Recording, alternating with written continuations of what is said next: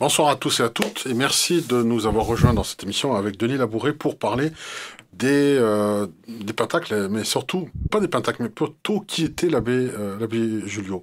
Alors, euh, tout le monde se dit la bonne blague, l'abbé Julio, pas sans savoir qu'ils peuvent changer de nom lorsqu'ils sont ordonnés euh, prêtres, euh, abbés, etc. Et comme il était fan de Julio Iglesias, il, a, pris le prénom Julio. Tout le monde croit ça, mais c'est pas du tout le cas. Donc on va voir la véritable histoire. Et euh, petite blague à part, mise à part cette boutade totalement foirée, eh bien, je vais vous dire ce qui s'est passé. En, tout cas, on a, fait les pentacles de l'abbé Julio le week-end dernier avec, avec Marc Neu. Et on a eu suffisamment de monde, donc ça s'est très très bien passé, mais on s'attendait à ce qu'il y ait plus, justement, un engouement un peu plus important.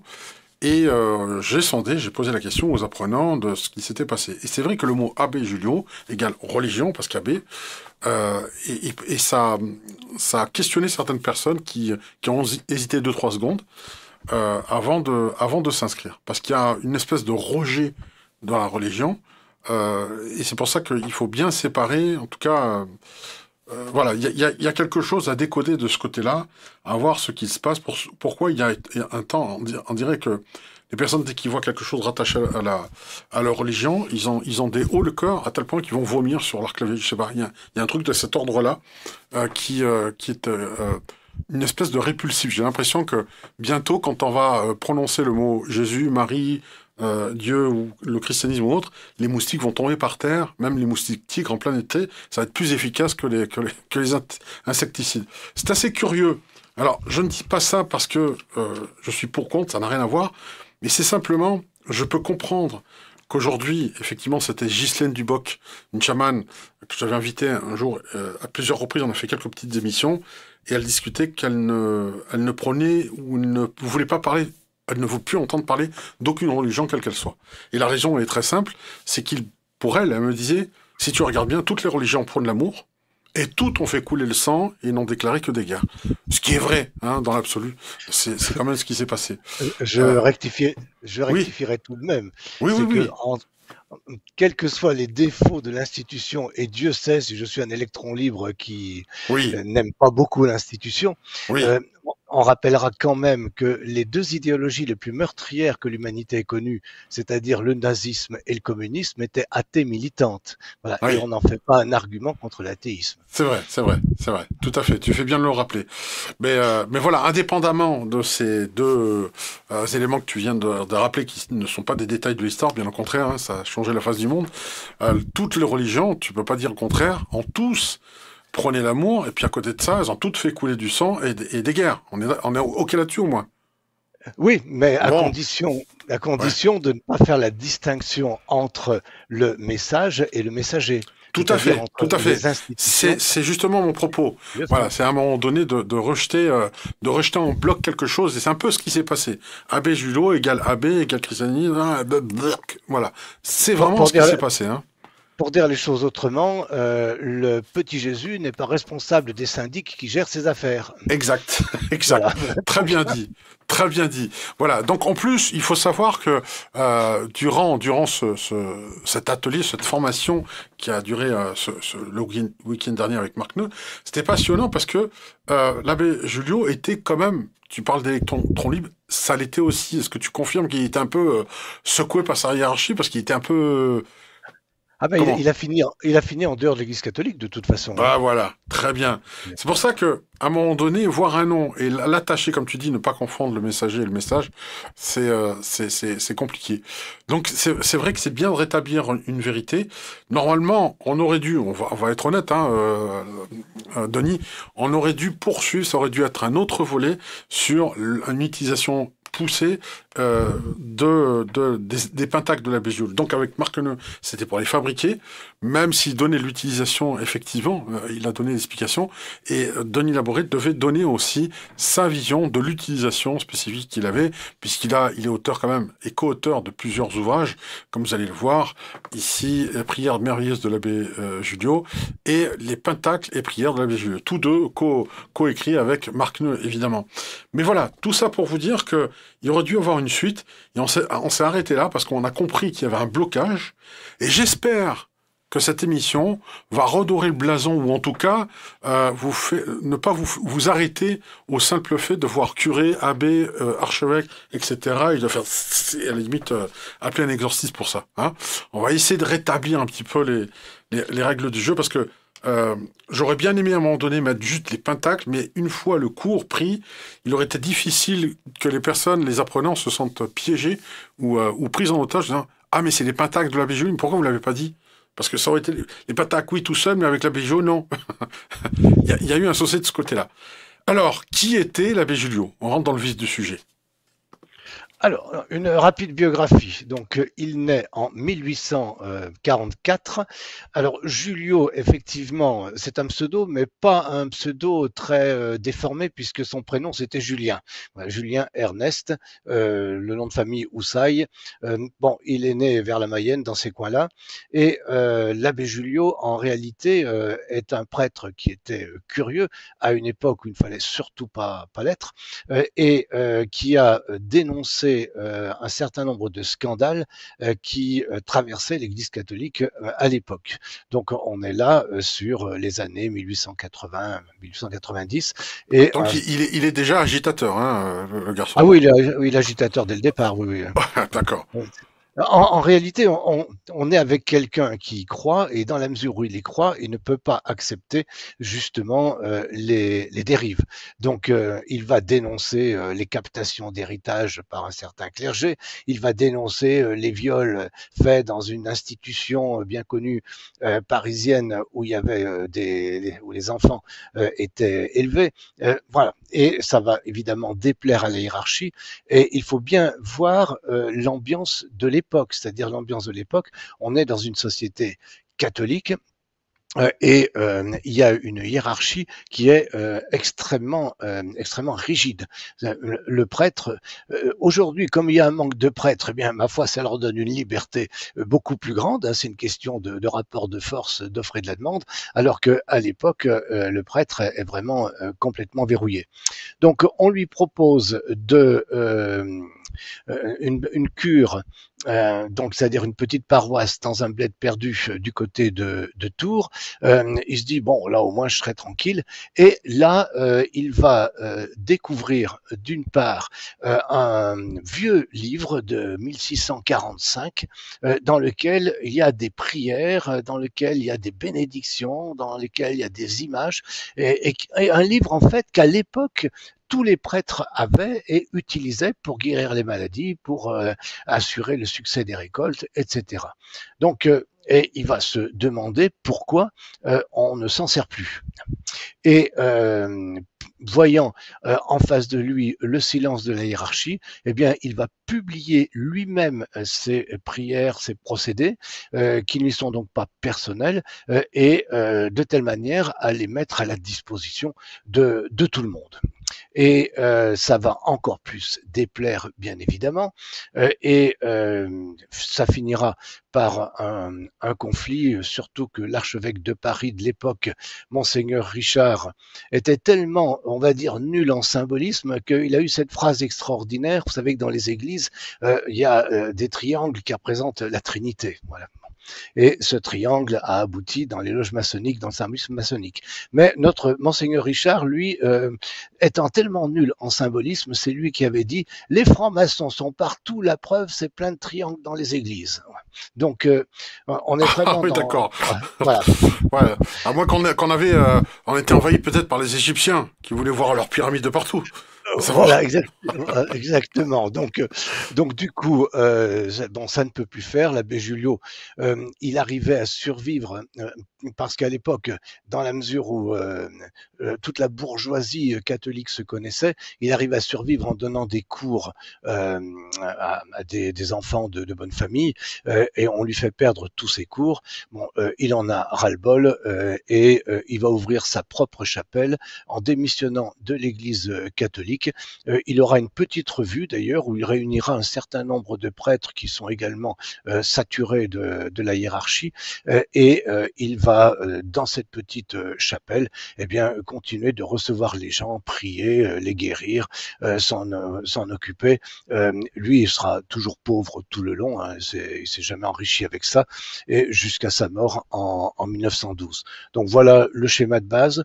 J'oubliais simplement que en plus de ce fameux bénédictionnal, c'est-à-dire livre de bénédiction, euh, il a rencontré un certain Jean Sampé, qui était un guérisseur de campagne, et ce guérisseur de campagne lui a enseigné un certain nombre de choses, toujours pour guérir par la prière, toujours pour guérir avec des onctions d'huile et, divers procédés.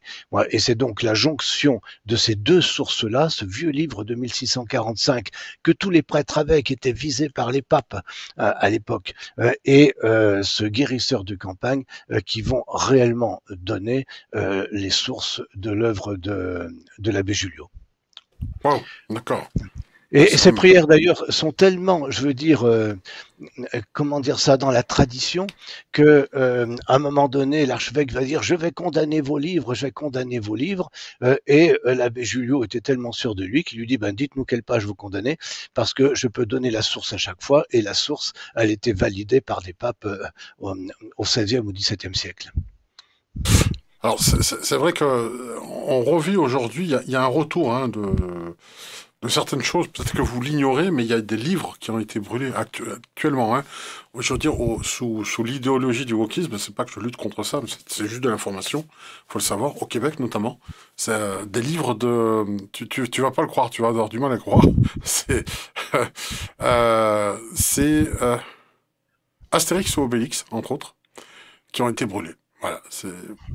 Voilà, on comprend pas vraiment la raison, mais ce qui paraissait être d'un autre temps, parce que quand tu racontes l'histoire de l'abbé Julien, on peut se dire, oui, mais c'était avant, c'est fini aujourd'hui. Euh, c'est pas fini. Il y a des relents et tout pour revenir à tout moment. Hein euh, par, par, moment, ce genre euh, d'idiotie et de, ségrégation, on va dire, de, de la pensée.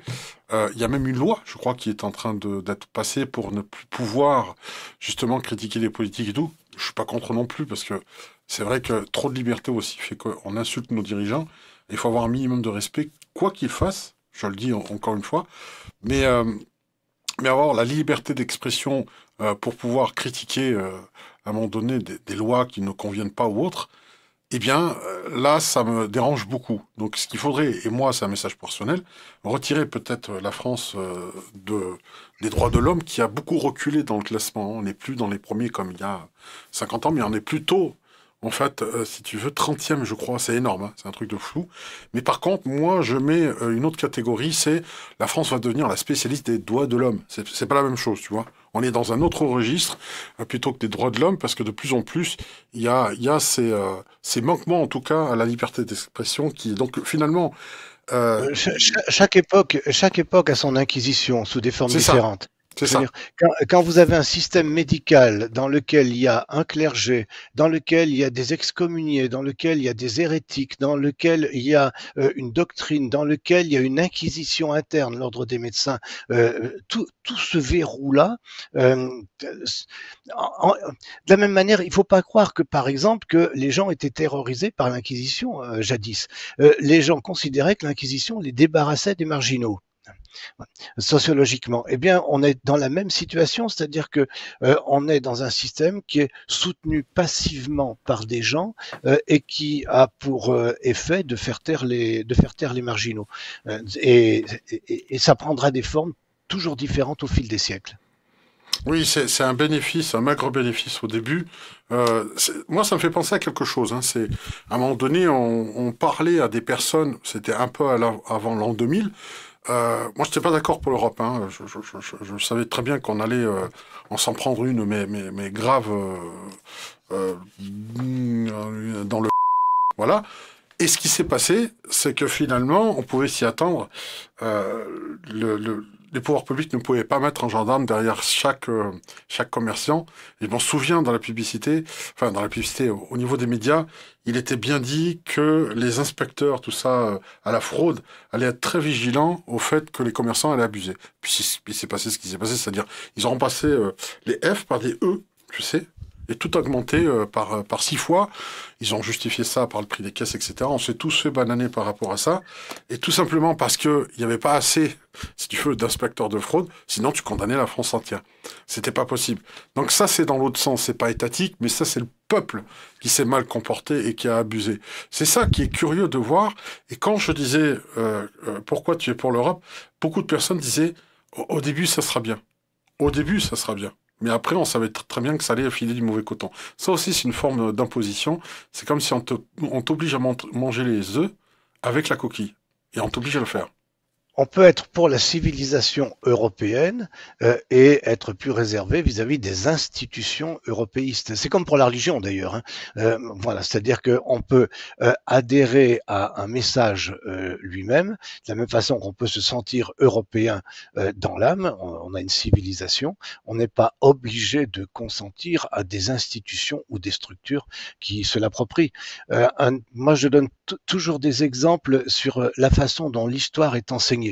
Euh, chaque euh, gamin qui sort de primaire en France est persuadé que le Moyen Âge croyait que la Terre était plate.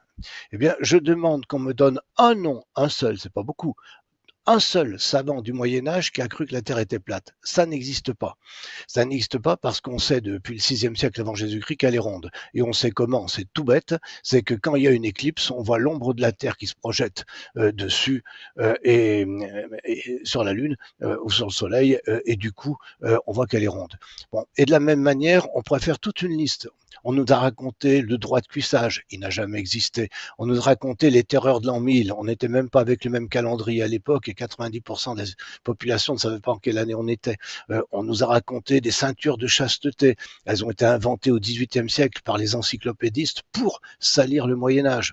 Euh, on oublie de dire aux, enfants, alors c'est très curieux, euh, même le mouvement néo-féministe... C'est fou cette, cette, réécriture de l'histoire comme ça, on rajoute des détails qui n'existaient pas. C'est vrai que moi j'ai appris la la ceinture de chasteté, on l'a dit ça. Hein. Alors que c'est faux. Maintenant, il y a eu des tests de doctorat qui ont été faits. Euh, elles n'ont jamais existé. Elles datent du XVIIIe siècle. Euh, et, et, en revanche, on va oublier de dire aux enfants que, par exemple, euh, la première décision de la Révolution française, septembre et décembre 1789, c'est l'abolition du droit de vote des femmes qu'elles avaient dans, toute, dans tout l'ancien régime. Et alors, en fait, c'était pas un problème d'homme ou de femme dans l'ancien régime, c'était un vote par famille, par cheminée, comme on disait, donc par foyer. Mais euh, bon, ça, évidemment, euh, c'est motus et bouche cousue. Hein. Et, Olympe de Gouges va écrire euh, pour réagir la déclaration de la femme et de la citoyenne, et elle sera guillotinée. Donc, c'est-à-dire, on réécrit l'histoire. De toute façon, ça a toujours été comme ça. Les vainqueurs réécrivent l'histoire, mais il faut que les gens soient curieux. Il faut que les gens. Oui, il faut, il faut, il faut contredire et, justement vérifier, vérifier ce qui a été dit. Voilà, Catherine, Catherine, qui est une des modératrices, a inventé un martinet pour euh, justement battre les hommes, mais ça personne ne le sait. Donc si, mesdames, vous voulez en vous en procurer un, vous pouvez contacter Catherine Catherine. Elle vous en fournira un, gracieusement d'ailleurs. Euh... Donc on voit qu'il y a eu des dérives. Alors l'abbé Julio, lui, euh, finalement, il faisait quoi? Il était en train de faire sa papote à lui en disant ça, le religion, je prends, euh, puis ça, je prends pas, ça, oui, mais ça, non. C'est quoi? Il faisait quoi son, son patchwork à lui? non, non, non, non. L'abbé Julio s'est toujours voulu catholique, mais ça finit catholique non romain, c'est-à-dire catholique en dehors de l'Église de Rome, puisque mais au niveau de, de sa foi, de sa doctrine, de sa messe, il s'est toujours voulu catholique. Simplement, l'abbé Julio, il a pris au sérieux ce qui avait marqué dans les évangiles. Et dans les évangiles, je pense par exemple au dernier chapitre, euh, au dernier paragraphe même de l'évangile de Marc, il y a marqué allez euh, évangéliser les foules, etc. Voici les signes qui accompagneront ceux qui auront cru en mon nom.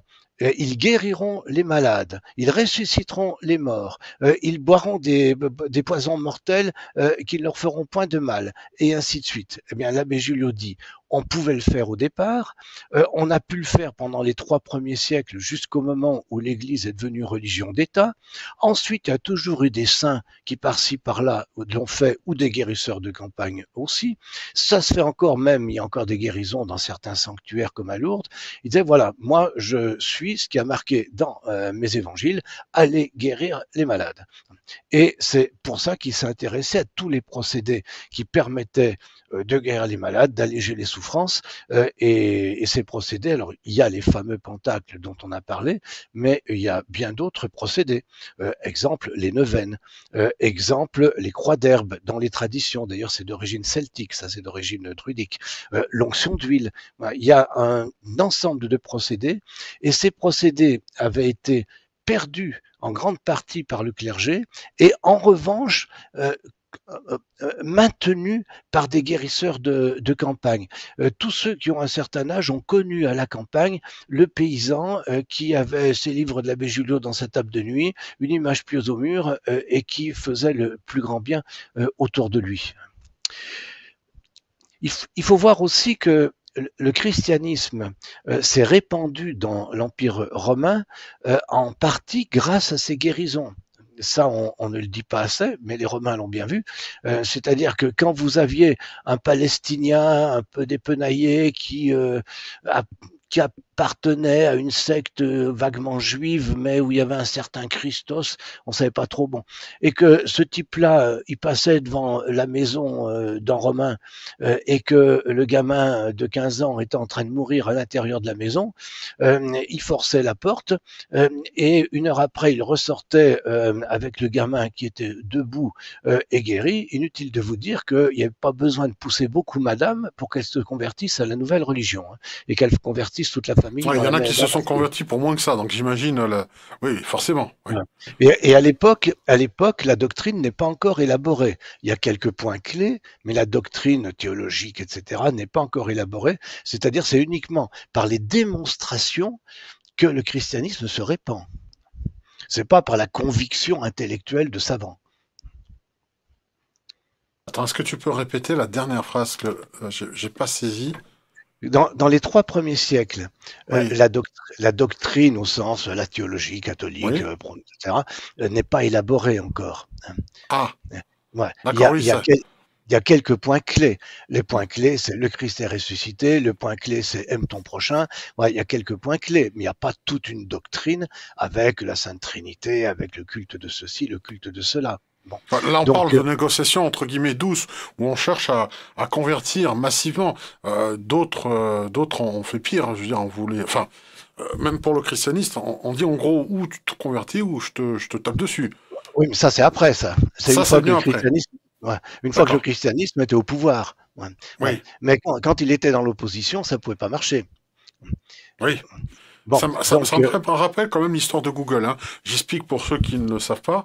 Il faut savoir que Google, avant, il était gentil. Et puis, euh, comme c'est un moteur de recherche, euh, cherchait à amadouer à ce que tout le monde utilisait nous, parce qu'il y avait Yahoo, il y avait Voilà, il y avait Orange, il y avait plein de moteurs de recherche.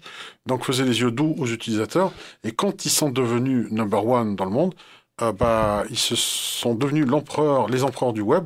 Et aujourd'hui, c'est eux qui dictent les, les règles. Hein. C'est-à-dire que si tu n'as pas un site, bah tiens, on va parler justement ton site ici, qu'on dit entre, en anglais, entre guillemets, euh, friendly, d'accord, bon, bah, je sais pas pourquoi il va pas s'afficher, bon, c'est pas grave. Euh, s'il n'est pas friendly, euh,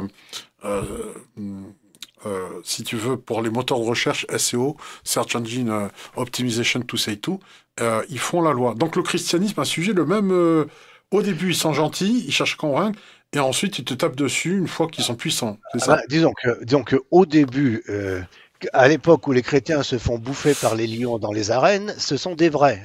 Voilà. Ah, D'accord. Bon. Euh, et ensuite, il arrive ce qui arrive à n'importe quel mouvement spirituel, c'est-à-dire qu'à un moment donné où quand il s'organise, ce mouvement n'a plus qu'une volonté, c'est se perpétuer lui-même, quitte à trahir le fondateur. C'est pas particulier au christianisme, hein. toutes les grandes traditions ont fait la même chose. Donc euh, ici, c'est bien que quand on est, quand ils étaient dans l'opposition, ils sont partis de rien. Un, jour, on demandait à Jacques Séguéla, qui était le meilleur publiciste de l'histoire, il a dit Jésus, hein, aucun capital, aucune relation, dans un bled paumé euh, d'une province reculée de l'empire, euh, et ensuite il crée une multinationale euh, mondiale. Donc, ah oui. j'adore. Oui, c'est vrai, c'est vrai en plus, c'est vrai. Et, et, donc, à ce moment-là, la diffusion du christianisme se fait en partie grâce aux guérisons. En, fait, elle se fait, sur deux choses. Elle se fait sur l'expulsion des démons, mais à l'époque, on considérait aussi que euh, la maladie, c'est toujours vrai en Afrique d'ailleurs, euh, est une sorte de parasitage euh, de l'être humain, et donc la guérison des maladies par l'imposition des mains et divers procédés. Et ça, ils l'ont fait, et c'est parce qu'ils l'ont fait que des gens ont basculé dans le christianisme justement en voyant euh, ce qu'étaient capables de faire euh, les, premiers chrétiens. Un, jour, j'étais en Côte d'Ivoire euh, et je discutais, c'est avec un prof d'anthropologie, mais un Ivoirien, hein, et je disais voilà, j'aimerais, il y a quelque chose qui, qui m'étonne, c'est que euh, vous avez gardé le, le christianisme euh, tout en décolonisant euh, à fond. pourquoi Alors que vous avez des traditions qui vous sont propres? Et il m'avait répondu, la, les missionnaires, les pères blancs, euh, sont venus bien avant les colons. Et les premiers, c'était des vrais, c'est-à-dire des gens qui croyaient à fond, et ils allaient dans les villages et ils défiaient le sorcier du village et ils gagnaient dans la démonstration. Et ça, ça s'est produit dans un certain nombre de, villages. Voilà. Et les gens ont basculé suite aux démonstrations qui leur ont été faites. Après, ça a été différent parce qu'il y a eu la colonisation, mais au début, ils se sont enfoncés dans les forêts alors que personne n'y mettait les pieds. Hein. Alors, on va parler justement de plusieurs concepts. Euh, tu, vois ça dans ta tête pour alchimiser. Déjà, Jésus aujourd'hui reviendrait, comment il serait perçu dans notre monde, et est-ce qu'il arriverait en tant que bon publicitaire à diffuser autant qu'il a réussi une époque? Peut-être que ça marcherait plus, ou peut-être qu'il faudrait justement consulter euh, Jacques Seguila cette fois pour réactualiser, en tout cas, moderniser la chose. Pareil pour l'abbé Julio, un, abbé Julio qui naîtrait aujourd'hui et qui serait aussi contestataire électron libre, est-ce qu'il arriverait à imposer une forme de voilà de, de, voilà de, choses à, à, proposer au monde comme les pentacles? Donc on va voir cette double question. Mais juste avant, je vous donne une information. Euh, Jésus-Christ, c'est quoi les les, les, les initiales? C'est JC. On est d'accord? Et si on regarde le réalisateur James Cameron, essaie de donner toujours dans ses personnages un personnage pilier clé qui a ces initiales-là. Donc James Cameron, c'est aussi JC. Et par exemple, si vous regardez dans Terminator, il y a, dans cette saga Terminator, il y a le certain John Connor, comme par, par exemple, qui est aussi initial de JC. Et peu de gens l'ont remarqué, mais il met toujours ça en avant. Donc il y a un côté euh, très, très, très, très, très, chrétien ça, dans Ça marche pas pour Jacques Chirac, hein Très bien vu.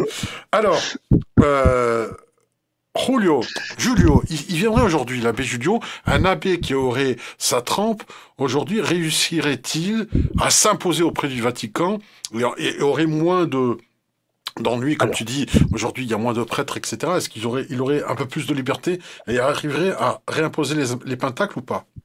Alors, question très très très très complexe. Euh, pourquoi? Le comment je vais attraper ça? Alors déjà, euh, la question de Jésus aujourd'hui. Euh, Dostoïevski avait écrit un roman dans lequel il y a le grand inquisiteur, Jésus revient et on l'enferme, Jésus. Euh, L'Église l'enferme en disant tu es un ferment de soulèvement, un ferment d'anarchie.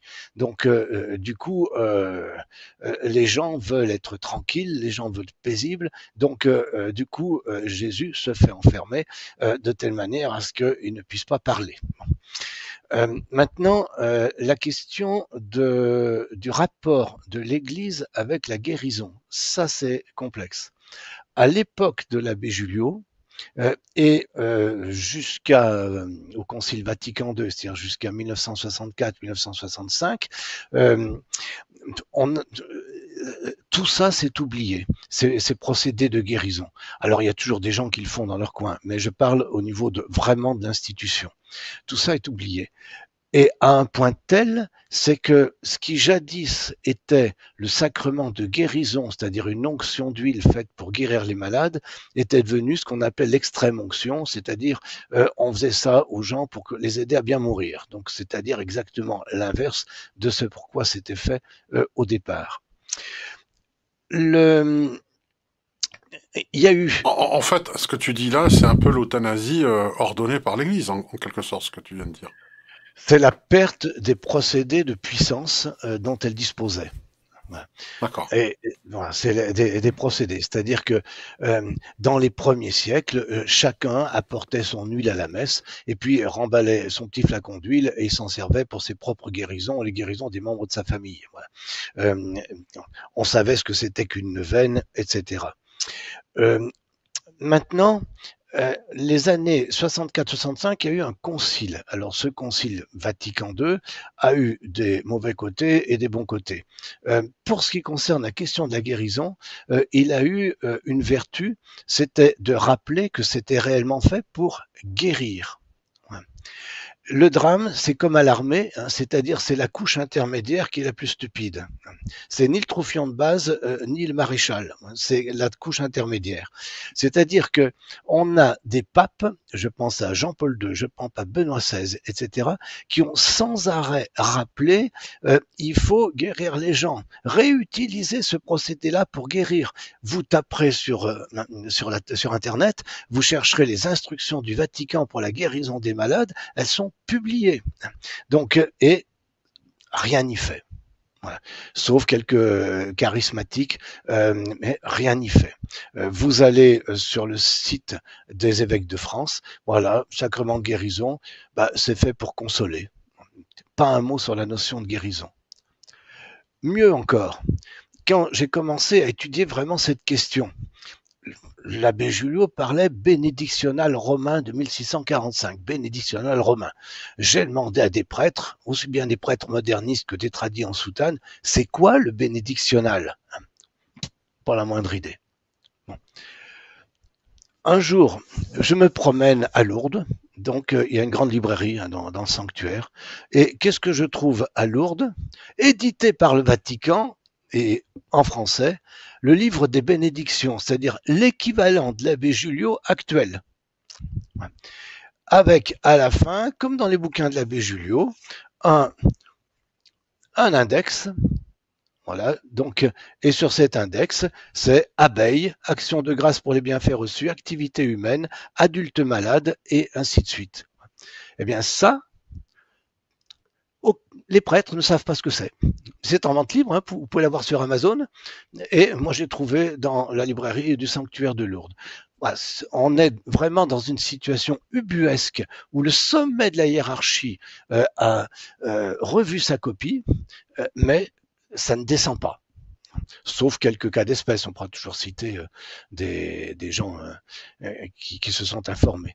Voilà. Et puis on laisse euh, on laisse en friche des procédés qui marchent, mais que tous les guérisseurs de campagne utilisaient euh, et utilisent encore pour ceux qui subsistent. D'accord, donc on voit, est-ce qu'il était plus proche, est-ce que c'était un abbé, euh, je pense l'avoir compris, mais il était plus proche du peuple, en tout cas que de l'Église, on est d'accord? Oui, c'est-à-dire qu'en en fait, euh, l'Église l'aurait laissé faire son ministère de guérison. Euh, il, serait, il, serait resté. Hein. Euh, mais c'est le même problème. Plus récemment, c'est le même problème pour le Padre Pio que, que nos, ah. nos, éditeurs connaissent. C'est-à-dire le Padre Pio, il a passé sa vie à avoir des problèmes avec la hiérarchie. oui, c'est vrai, oui, c'est vrai, c'est vrai. Il n'a pas fini en dehors. Mais, oui, mais, oui, mais regarde, par exemple, le livre que tu viens de, de, de, de montrer. Euh, qui est exactement ce que sort maintenant. C'est curieux que, en gros, c'est nous on le sort, ça va, mais si c'est le petit qui le euh, qui le fait, euh, on n'est plus on plus ok. Alors que c'est le même contenu. Est-ce que j'ai raté quelque chose ou pas là? Oui, non, non, non. Enfin, c'est contenu mis à jour. Il y a beaucoup moins de choses pour l'agriculture. Il y a, par contre, il y a, il y a les mobilettes, enfin les, les motos, voilà. Mais alors, il n'y a pas les pentacles, mais il y a les prières. Et non seulement il y a les prières, mais l'abbé Julio a eu a eu raison trop tôt. Euh, il est même marqué carrément dans la préface, donc par le Vatican, je dis bien, dans la préface, qu'on a pris soin euh, de mettre des prières que peuvent utiliser la plupart des laïcs. Donc, euh, de telle manière que les gens puissent s'en servir. Et ça reste lettre morte. D'accord, d'accord. Donc, on va, on va peut-être revenir à, la Genèse. Est-ce que, excuse-moi si je te fais répéter ça, c'est volontairement parce que l'enseignement, c'est aussi par la répétition que ça marche. Pour ceux qui viennent de nous rejoindre, en tout cas sur le chat, je vous invite effectivement à liker, partager la vidéo, etc. Et pourquoi pas envoyer des lettres avec beaucoup d'égrégores d'amour à, à Denis Labouré. Il vous donnera son adresse après. il faut toujours que j'insère quelque chose qui n'a rien à voir avec le, avec le contexte. Mais tu, commences à me connaître, hein, Denis. Euh, les pentacles. Les pentacles à source, est-ce que lui les a découverts? Est-ce qu'il les a complétés? Est-ce que euh, où est la source? Ça remonte à, quand? Parce que dans une précédente émission, euh, tu avais parlé de, de, textes, de textes originaux retrouvés, je crois, dans la mer morte il y a huit siècles, quelque chose comme ça. Alors, donc les manuscrits de la mer morte, ouais, c'est une chose. Euh, donc les, les, euh, sont, sont, je pense, beaucoup moins vieux, beaucoup plus ancestraux. Euh, oui et non, c'est-à-dire en fait, ah. les, les pentacles de l'abbé Julio, euh, c'est l'abbé Julio qui les a fait dessiner. Mais euh, l'abbé Julio n'a rien créé, c'est-à-dire ce qui est représenté sur le pentacle, ce sont des euh, images et des formules qui proviennent justement de la révélation, c'est-à-dire de l'inspiration que certains ont reçue il y a 2000 ans ou plus. Alors, il y a toujours eu des procédés de ce genre, dès le départ. Les Juifs, ils le font toujours, utilisent des phylactères, c'est-à-dire un petit passage de, leur, de la Torah, de, de la Bible, hein, et puis ils la mettent dans une petite boîte, et soit ils se la collent sur le front, soit ils se l'attachent au bras euh, sous leur chemise pour que ce soit plus discret. C'est-à-dire, on a déjà ça dans l'Antiquité sans aucun problème. Euh, on a chez les premiers chrétiens euh, des procédés du même genre. Même dans euh, le Nouveau Testament, donc dans, la Bible, on, a par exemple, on nous explique que des gens, enfin l'apôtre Paul donnait des linges voilà, qui aux malades et, en touchant ces, linges, les malades étaient guéris. Donc il y a eu des objets. On a dès les premiers siècles on a utilisé, les coptes le font toujours, les psaumes, où chaque psaume, il y en a 150, hein, euh, chaque psaume euh, était fait pour euh, un objectif bien déterminé. Et, eh bien, ça, ça existe depuis le départ. Il faut savoir que les papes eux-mêmes ont, pendant des siècles et jusqu'au XXe siècle, jusqu'au début du XXe siècle, euh, préparé ce qu'on appelait des Agnus Dei. Vous pouvez trouver ça chez les brocanteurs. C'est des petits euh, agneaux, l'agneau pascal euh, en, cire, et ils les consacraient avec un rituel que vous pouvez trouver euh, sur Internet.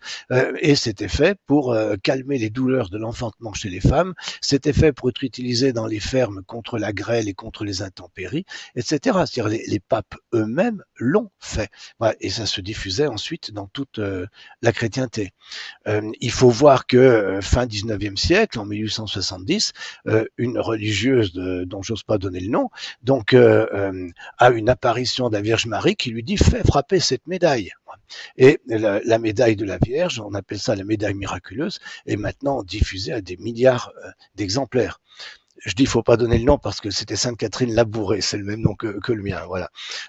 Et c'est pas original, c'est pas original, sauf que ça gêne euh, ceux qui voudraient donner une impression bien propre sur soi et euh, surtout ne pas rentrer en conflit avec la science telle qu'elle est. Voilà, donc, euh, et je me souviens d'un évêque qui me répondait quand moi je lui parlais de guérison des malades par l'imposition des mains.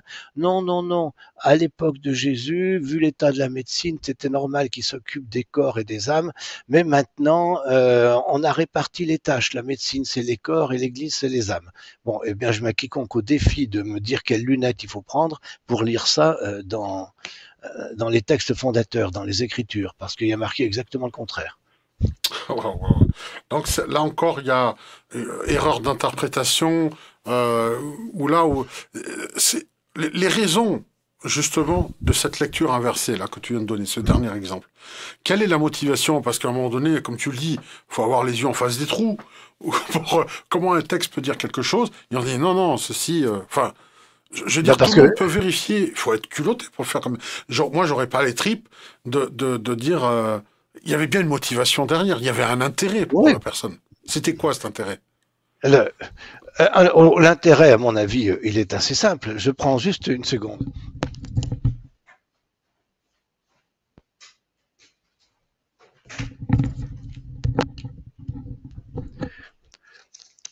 Voilà comment se termine des quatre évangiles.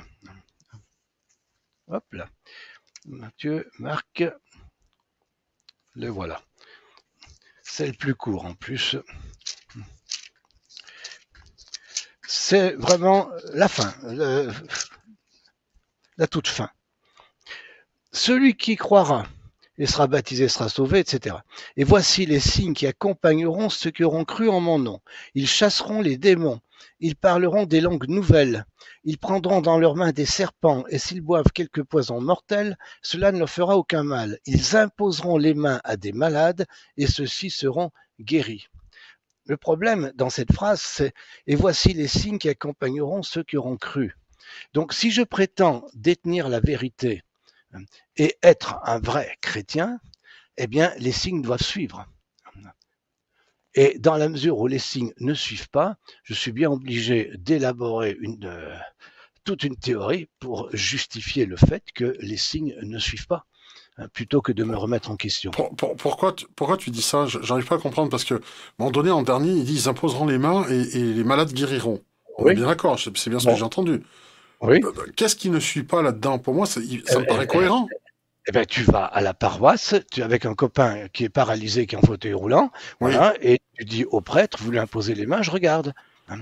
Donc, de deux choses une, où il se passe rien, où il se passe quelque chose. S'il se passe quelque chose, c'est conforme au texte, et voici les signes qui accompagneront ceux qui auront cru en mon nom. S'il ne se passe rien, euh, je regrette, il y a un problème. Oui, c'est vrai. C'est vrai. Qu'est-ce qu'on doit en penser alors? On fait tout ce qu'on peut. Hein, attention, il s'agit de, je jette la pierre à personne. Mais ce que je veux dire, ouais. Mais ce que je veux dire, par, euh, un jour j'avais quelqu'un là qui, euh, mais c'est un témoin de Jéhovah, c'est tout. Euh, mais enfin c'est bon, pareil. On a la vérité, on a la vérité, on a la vérité. je leur ai, je leur ai répondu ce que je viens de te dire. Je vous amène un paralytique et vous me montrez. Hein. Bon, ils sont pas revenus. Hein. Bon, mais le, le problème de fond, il est là.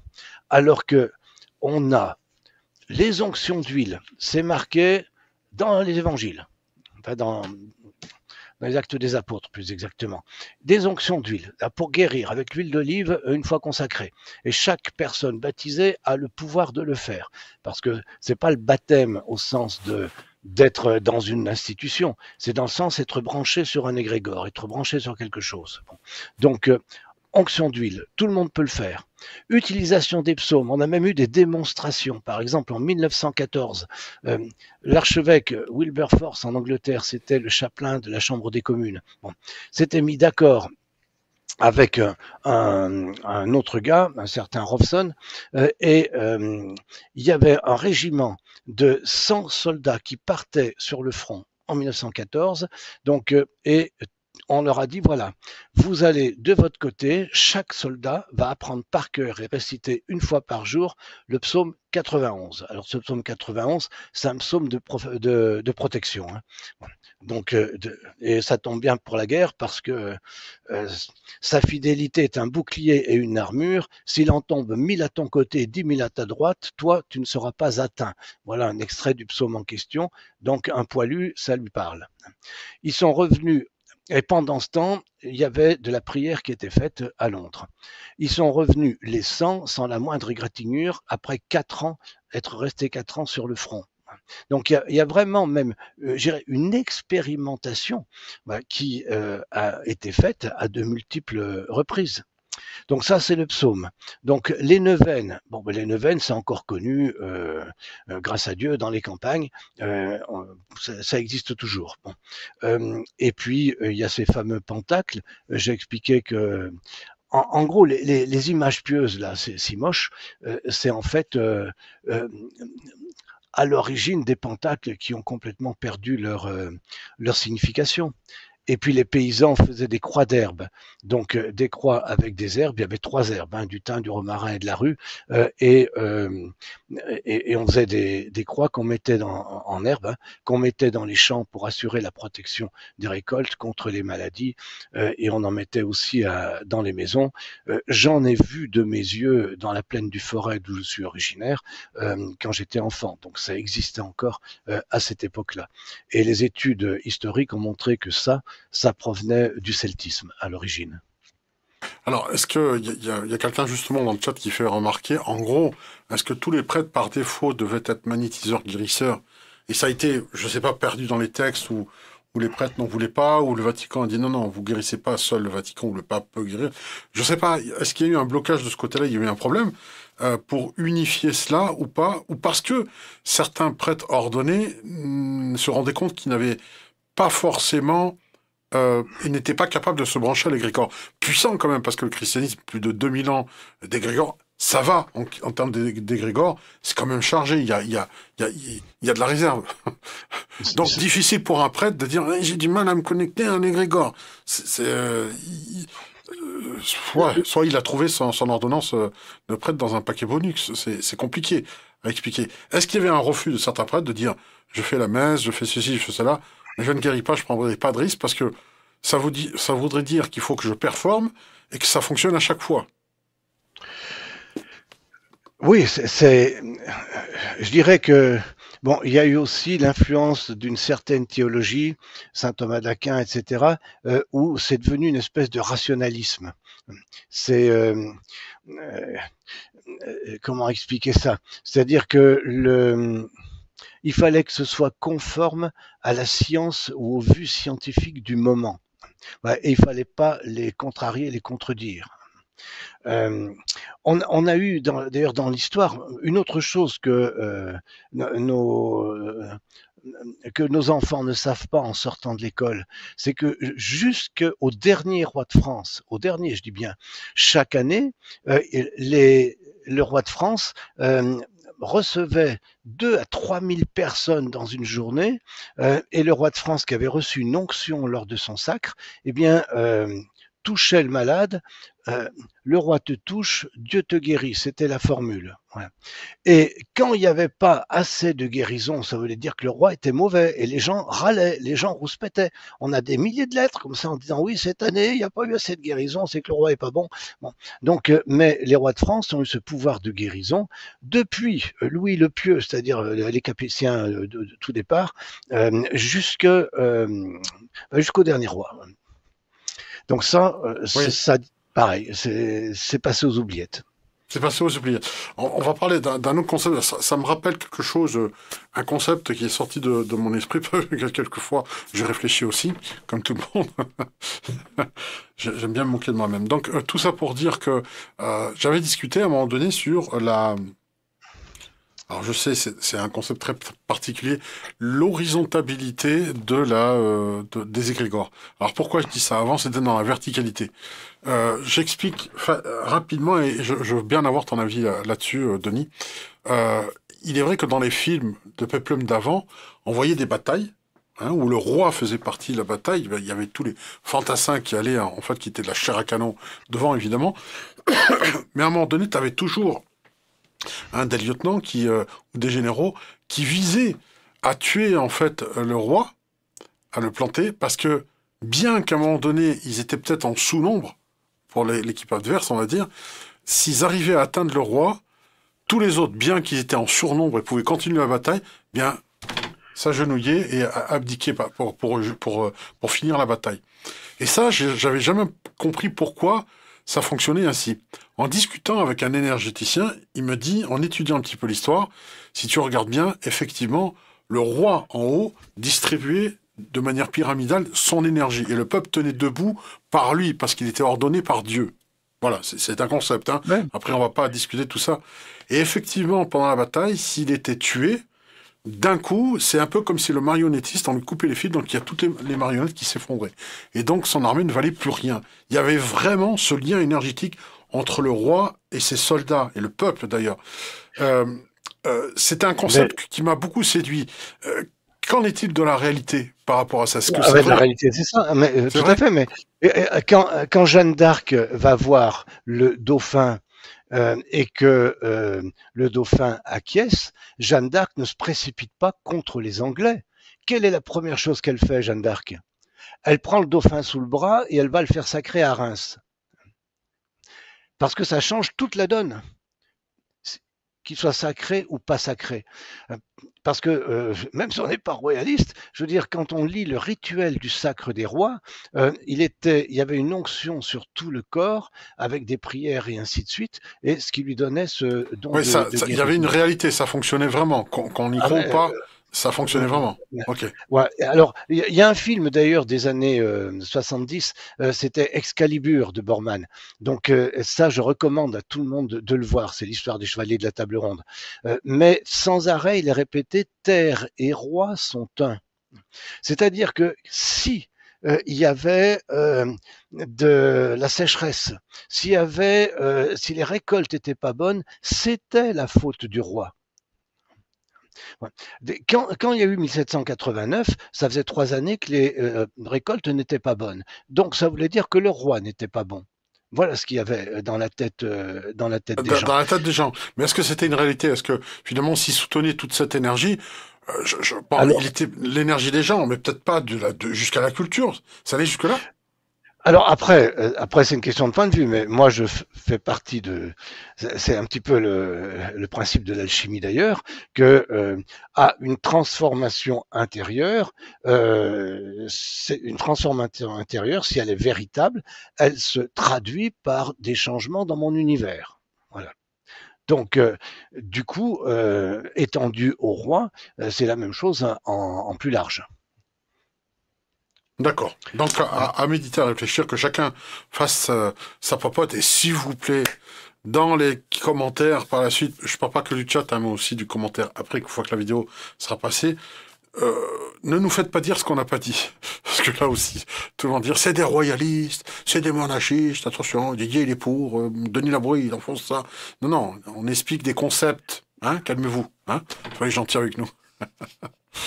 Donc cet aspect-là, c'est très méconnu et on ne nous apprend pas tout ça à l'école. Parce que pourquoi euh, euh, J'entends bien que l'éducation nationale préfère euh, apprendre la sexualité à partir de l'âge de 6 ans à la maternelle, c'est tellement plus important. Mais pourquoi ils n'intègrent pas cet aspect, on va dire presque magique de la sacralisation? Peut-être qu'il y aurait un retour il serait plus facile de respiritualiser entre guillemets le, public euh, pour sensibiliser cela à l'invisible. Parce que avant il faisait partie de notre quotidien. On l'a viré pour plein de raisons avec des dérives euh, euh, industrielles et tout ce, qu'on voudrait. Par par par, par contrôle. Encore que la, encore que j'arrive même pas à croire ce que je, viens de dire parce qu'en réalité l'Église contrôlait déjà les peuples quoi alors qu'il y avait cet aspect énergétique. Je sais pas pourquoi ça a disparu. Je, je comprends pas. Vraiment, je cherche. Hein. Alors, il y, a, il y a eu euh, quelque chose qui est propre à la France d'ailleurs et que euh, les étrangers ont du mal à comprendre. Euh, il, s'est passé sur après la Révolution française, il y, a, il, y a, vraiment eu à partir des années 1870, donc il y a vraiment eu deux camps. on va dire, pour faire simple, les royalistes conservateurs et catholiques, et puis les républicains puisque l'Église était maquée avec le pouvoir royal, euh, les républicains étaient automatiquement euh, anti-Église. Et donc, euh, il y a eu une guerre entre les deux. si vous demandez à quelqu'un qui a 80 balais aujourd'hui, il vous racontera que quand il était enfant, entre l'école publique et l'école privée, on ne se croisait pas et on ne se regardait pas quand on était dans la rue. Donc, donc il y a eu un, un, un conflit où les positions se sont radicalisées des deux côtés. Et ça, ça a euh, malheureusement laissé, euh, laissé un certain nombre de traces. Euh, je, je prends deux exemples tout bêtes. à un moment donné, on s'est dit bon, vu que en France maintenant il y, a, y a, y a, les grandes religions sont toutes représentées, on va faire un cours dans les écoles de connaissance des religions, mais dans le sens, euh, voilà, ton petit copain qui est juif, qu'est-ce qu'il a comme fête, euh, Hanouka, etc. Et puis ton petit copain qui est autre chose. Bon, donc un truc tout simple et intelligemment fait, purement culturel, hein, pas du tout euh, de la propagande. Ça a été refusé par les syndicats parce que c'était le catéchisme à l'école. Hein. Donc, euh, alors que ça aurait certainement rendu bien des services dans la société telle qu'elle est. Je donne un autre exemple le, aller expliquer à un étranger que si vous faites une licence ou un master en théologie en France, dans n'importe quelle université d'État, euh, eh bien, euh, ça ne vaut rien. Mais si la même, les mêmes études, vous les faites à l'université de Metz ou de Strasbourg, université d'État, ça vaut. C'est-à-dire en clair, ça vous donne vos points européens et ainsi de suite. Allez expliquer ça. C'est absurde. Oui, c'est vrai, c'est vrai, Oui, mon frère a passé trois fois son diplôme euh, justement euh, de musique euh, parce qu'il a fait au conservatoire et à chaque fois, le prof qui, parce qu'il était trop doué, évidemment, eh bien, mettait toujours hors cursus. Il cochait une case, hein, hors, cursus, mmh. parce qu'il n'avait pas commencé le solfège euh, très tôt. Voilà, tout simplement. Il était venu un peu tard et euh, apprendre le solfège à 25 ans, c'était blasphématoire pour lui. voilà. voilà. mais là c'était l'idée que euh, il fallait pas faire des diplômes qui concernent la religion. Oui, Alors, mais, oui, mais, c'était les mêmes enseignements, c'est ça qui est absurde. C'était les mêmes enseignements. C'est ça. C'est en change de lieu. Voilà. Mais ce qui dans la cuisine, que... t'es noté. T'étudies dans la salle à manger, t'es pas noté. En gros, c'est ça. Que quand, quand cette loi est passée, euh, avec interdiction d'enseigner la théologie, et ainsi de suite. Donc, euh, quand cette loi est passée, l'Alsace et la Lorraine étaient allemandes. Donc, euh, et en 1918, elles reviennent à la France. Bon, mais elles reviennent à la France avec leur propre système. C'est pour ça que euh, si euh, moi j'ai par exemple un master de théologie de l'université de Metz dans laquelle à part l'examen final j'ai jamais mis les pieds euh, à part la soutenance du master et tout simplement parce qu'on fait les études ailleurs et puis après il y a, y a des équivalences. Mais ça veut dire aussi que avec ce système-là, on ne peut pas faire une université d'islamologie intelligente. Alors que ces histoires d'imams qui est détachée par euh, les pays étrangers, euh, il suffirait de faire une université d'islamologie intelligente, et puis au bout de cinq ans, ceux qui ont le master peuvent être imams en France, ceux qui n'ont pas le master peuvent pas l'être, et on n'en parle plus. Euh, moi, quand j'ai fait les études de théologie, il y avait quatre unités de valeur, c'était connaissance des religions. C'est-à-dire sur les autres religions, euh, on étudiait euh, les bases. Comme ça, à la fin, on était un peu moins stupide quand, on parlait des autres religions. On pourrait très bien faire la même chose pour l'islam, mais les lois l'interdisent. Et on aboutit à la situation ubuesque actuelle.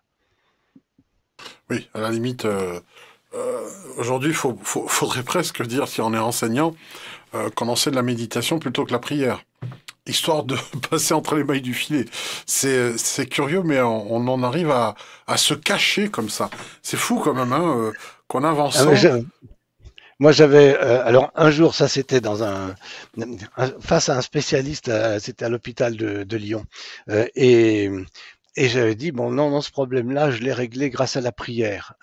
Bon, et le compte-rendu de la consultation, c'était euh, Monsieur Labouret estime avoir réglé ce problème-là grâce à la méditation. authentique, authentique. Waouh, donc tu vois, je dis jamais les choses par hasard.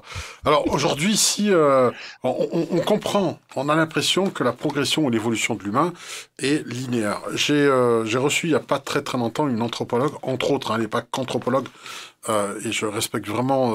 je suis désolé parce que je retiens pas. Elle, fait beaucoup de choses, mais son cœur de métier quand même est quand même l'anthropologie à la base. C'est Audrey Chapeau. Donc je sais pas si tu la connais, mais elle est venue donc plusieurs reprises en gros, je la rencontre une fois par an et c'est toujours avec un grand plaisir lorsqu'elle vient. Et la dernière fois, on a fait un petit interview sur la boutique. Elle m'a appris quelque chose de très très important, c'est que l'évolution de l'être humain euh, est multifactorielle. Et si tu veux, moi je pensais toujours que nos enfants qui étaient grincalés, de génération en génération, étaient de plus en plus des perches tu sais, de plus en plus grand. Alors, je précise au passage que si vous regardez euh, Denis Labouré, il est grand. Hein. C'est vrai, t'es es grand, hein. T'es vraiment grand. Et, euh, le, valet de chambre, le valet de chambre de Napoléon lui disait Je suis plus grand que votre majesté. Et Napoléon lui a répondu Plus haut, jeune homme, plus haut. pas, plus grand. C'est pas mal. La différence est là quand même. Plus haut, plus haut, pas plus grand. Alors, Audrey Chapeau me racontait justement par rapport à cette taille que euh, dans l'histoire de l'évolution, en tant qu'anthropologue, elle m'a porté en tout cas à la certitude que l'être humain a été plus grand et plus petit. Enfin, c'est pas aller en croissant, euh, en, grandissant. Ça dépend des époques et des générations. Tu sais pas pourquoi ils vont être plus petits, puis d'un coup vont reprendre une croissance, puis vont retomber. Donc c'est très aléatoire, très, euh, euh c'est très euh, erratique en fait comme, comme évolution, mais pas tellement linéaire. Donc aujourd'hui, on a dans l'idée que plus on va vers l'avant, plus il y a de liberté, euh, plus il y a d'assouplissement, plus il y a de connaissance, d'intelligence. Et c'est pas forcément le cas. Est-ce que finalement, la clé serait que tant que euh, l'humain rejettera la spiritualité, sous quelque forme que ce soit, religieuse ou autre, si elle ne sait pas l'intégrer avec sa propre évolution de l'humain, euh, l'humain atteindra un plafond sur lequel il ne pourra pas aller plus loin C'est une vraie question. Hein. Je ne sais pas. En tout cas, euh, ceux qui ont un petit peu de quelques années, un petit peu de recul, euh, il est certain que les libertés euh, ont été sérieusement rognées par rapport euh, à ce qu'elles étaient il y a 50 ans. Donc dans, dans pas mal euh, pas mal de domaines. Euh, moi quand j'étais enfant, ma mère, enfin on habitait en HLM et on, avait 5 ans, 6 ans, on jouait en bas et il lui est jamais venu à l'idée qu'il puisse nous arriver quoi que ce soit. Quand c'était l'heure de manger, elle nous appelait par la fenêtre. Avec mon frère, on montait. Maintenant, quelle mère va faire ça? Ma grand-mère à la campagne laissait la porte entr'ouverte la nuit au cas où un pauvre ait besoin. Maintenant, qui va faire ça? Donc, euh, on, voilà. Donc, euh, on a un certain nombre de libertés qui se sont réduites comme peau de chagrin, et souvent au nom de la liberté. C'est pour ça que je me méfie des concepts abstraits, parce qu'ils aboutissent souvent à prendre des décisions qui vont en sens inverse. Donc, c'est les libertés concrètes, bien factuelles. C'est ça qui nous intéresse. Oui. Bah, de toute façon, puisqu'on va vers, on tend vers une population de plus en plus grande à chaque fois, euh, euh, il y a autant d'univers que de personnes, ça va être compliqué de trouver un consensus qui se mélange bien.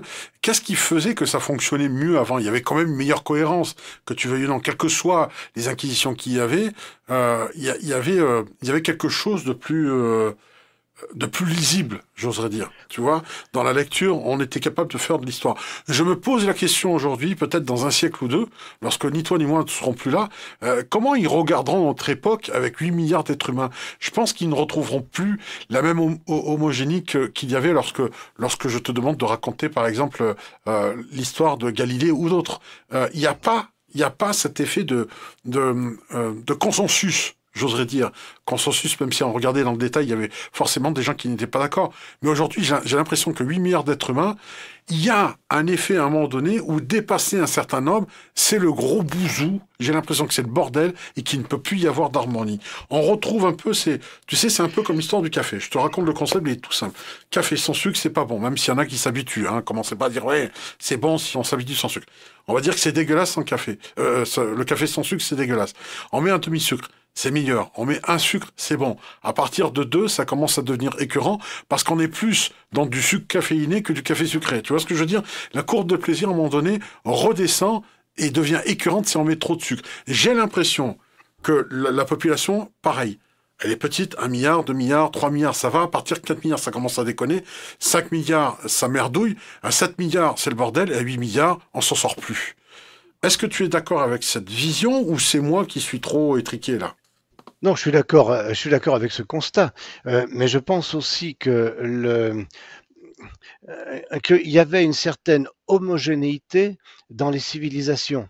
Donc il y avait une civilisation, on va dire européenne, il y avait une civilisation, euh, on va dire arabe, on va, il y a une civilisation chinoise, une civilisation indienne, euh, et en interne euh, une certaine homogénéité avec un, un, roman national, avec des mythes fondateurs, avec une transmission qui se faisait de génération en génération.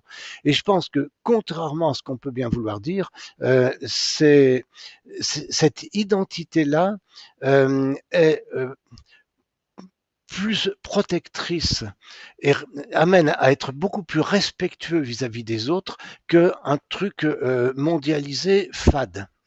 Euh, je prends un exemple tout bête. Je préfère un anglais qui parle un vrai anglais euh, plutôt qu'un type qui parle une espèce de, de, de franglais, de bougli-boulga pour entreprise euh, commerciale qui, qui ressemble à rien et qui est une caricature de la langue anglaise et de la culture anglaise. Donc, je ne parle pas de frontières, je ne parle pas de nationalisme, je parle surtout pas d'idée qu'une civilisation serait supérieure à une autre.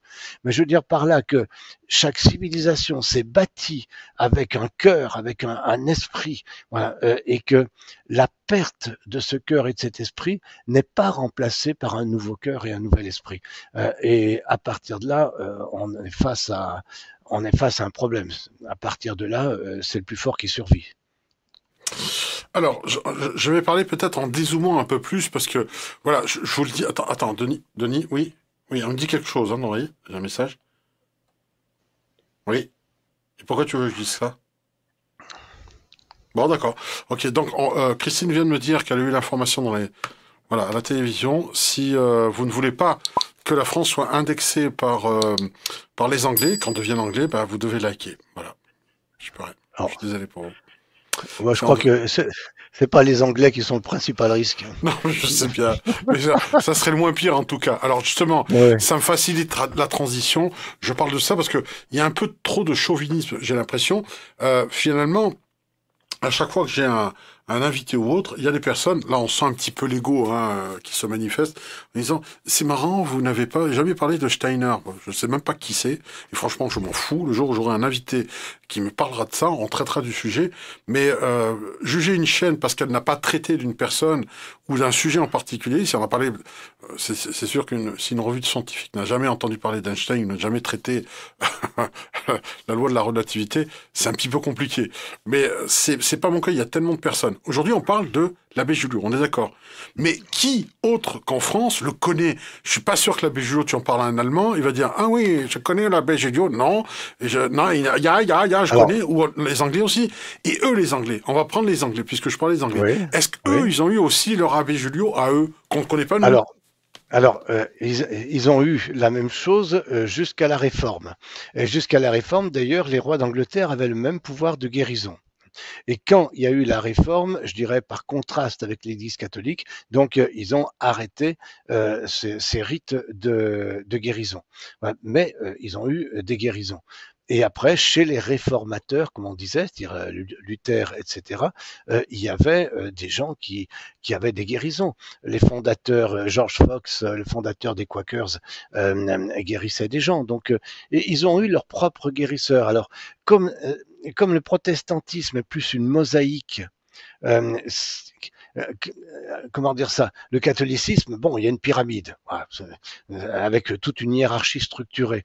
Le protestantisme, entre le téléévangéliste américain et puis le pasteur de l'Église réformée de votre ville, il y a, une marge entre le téléévangéliste américain et l'Église anglicane.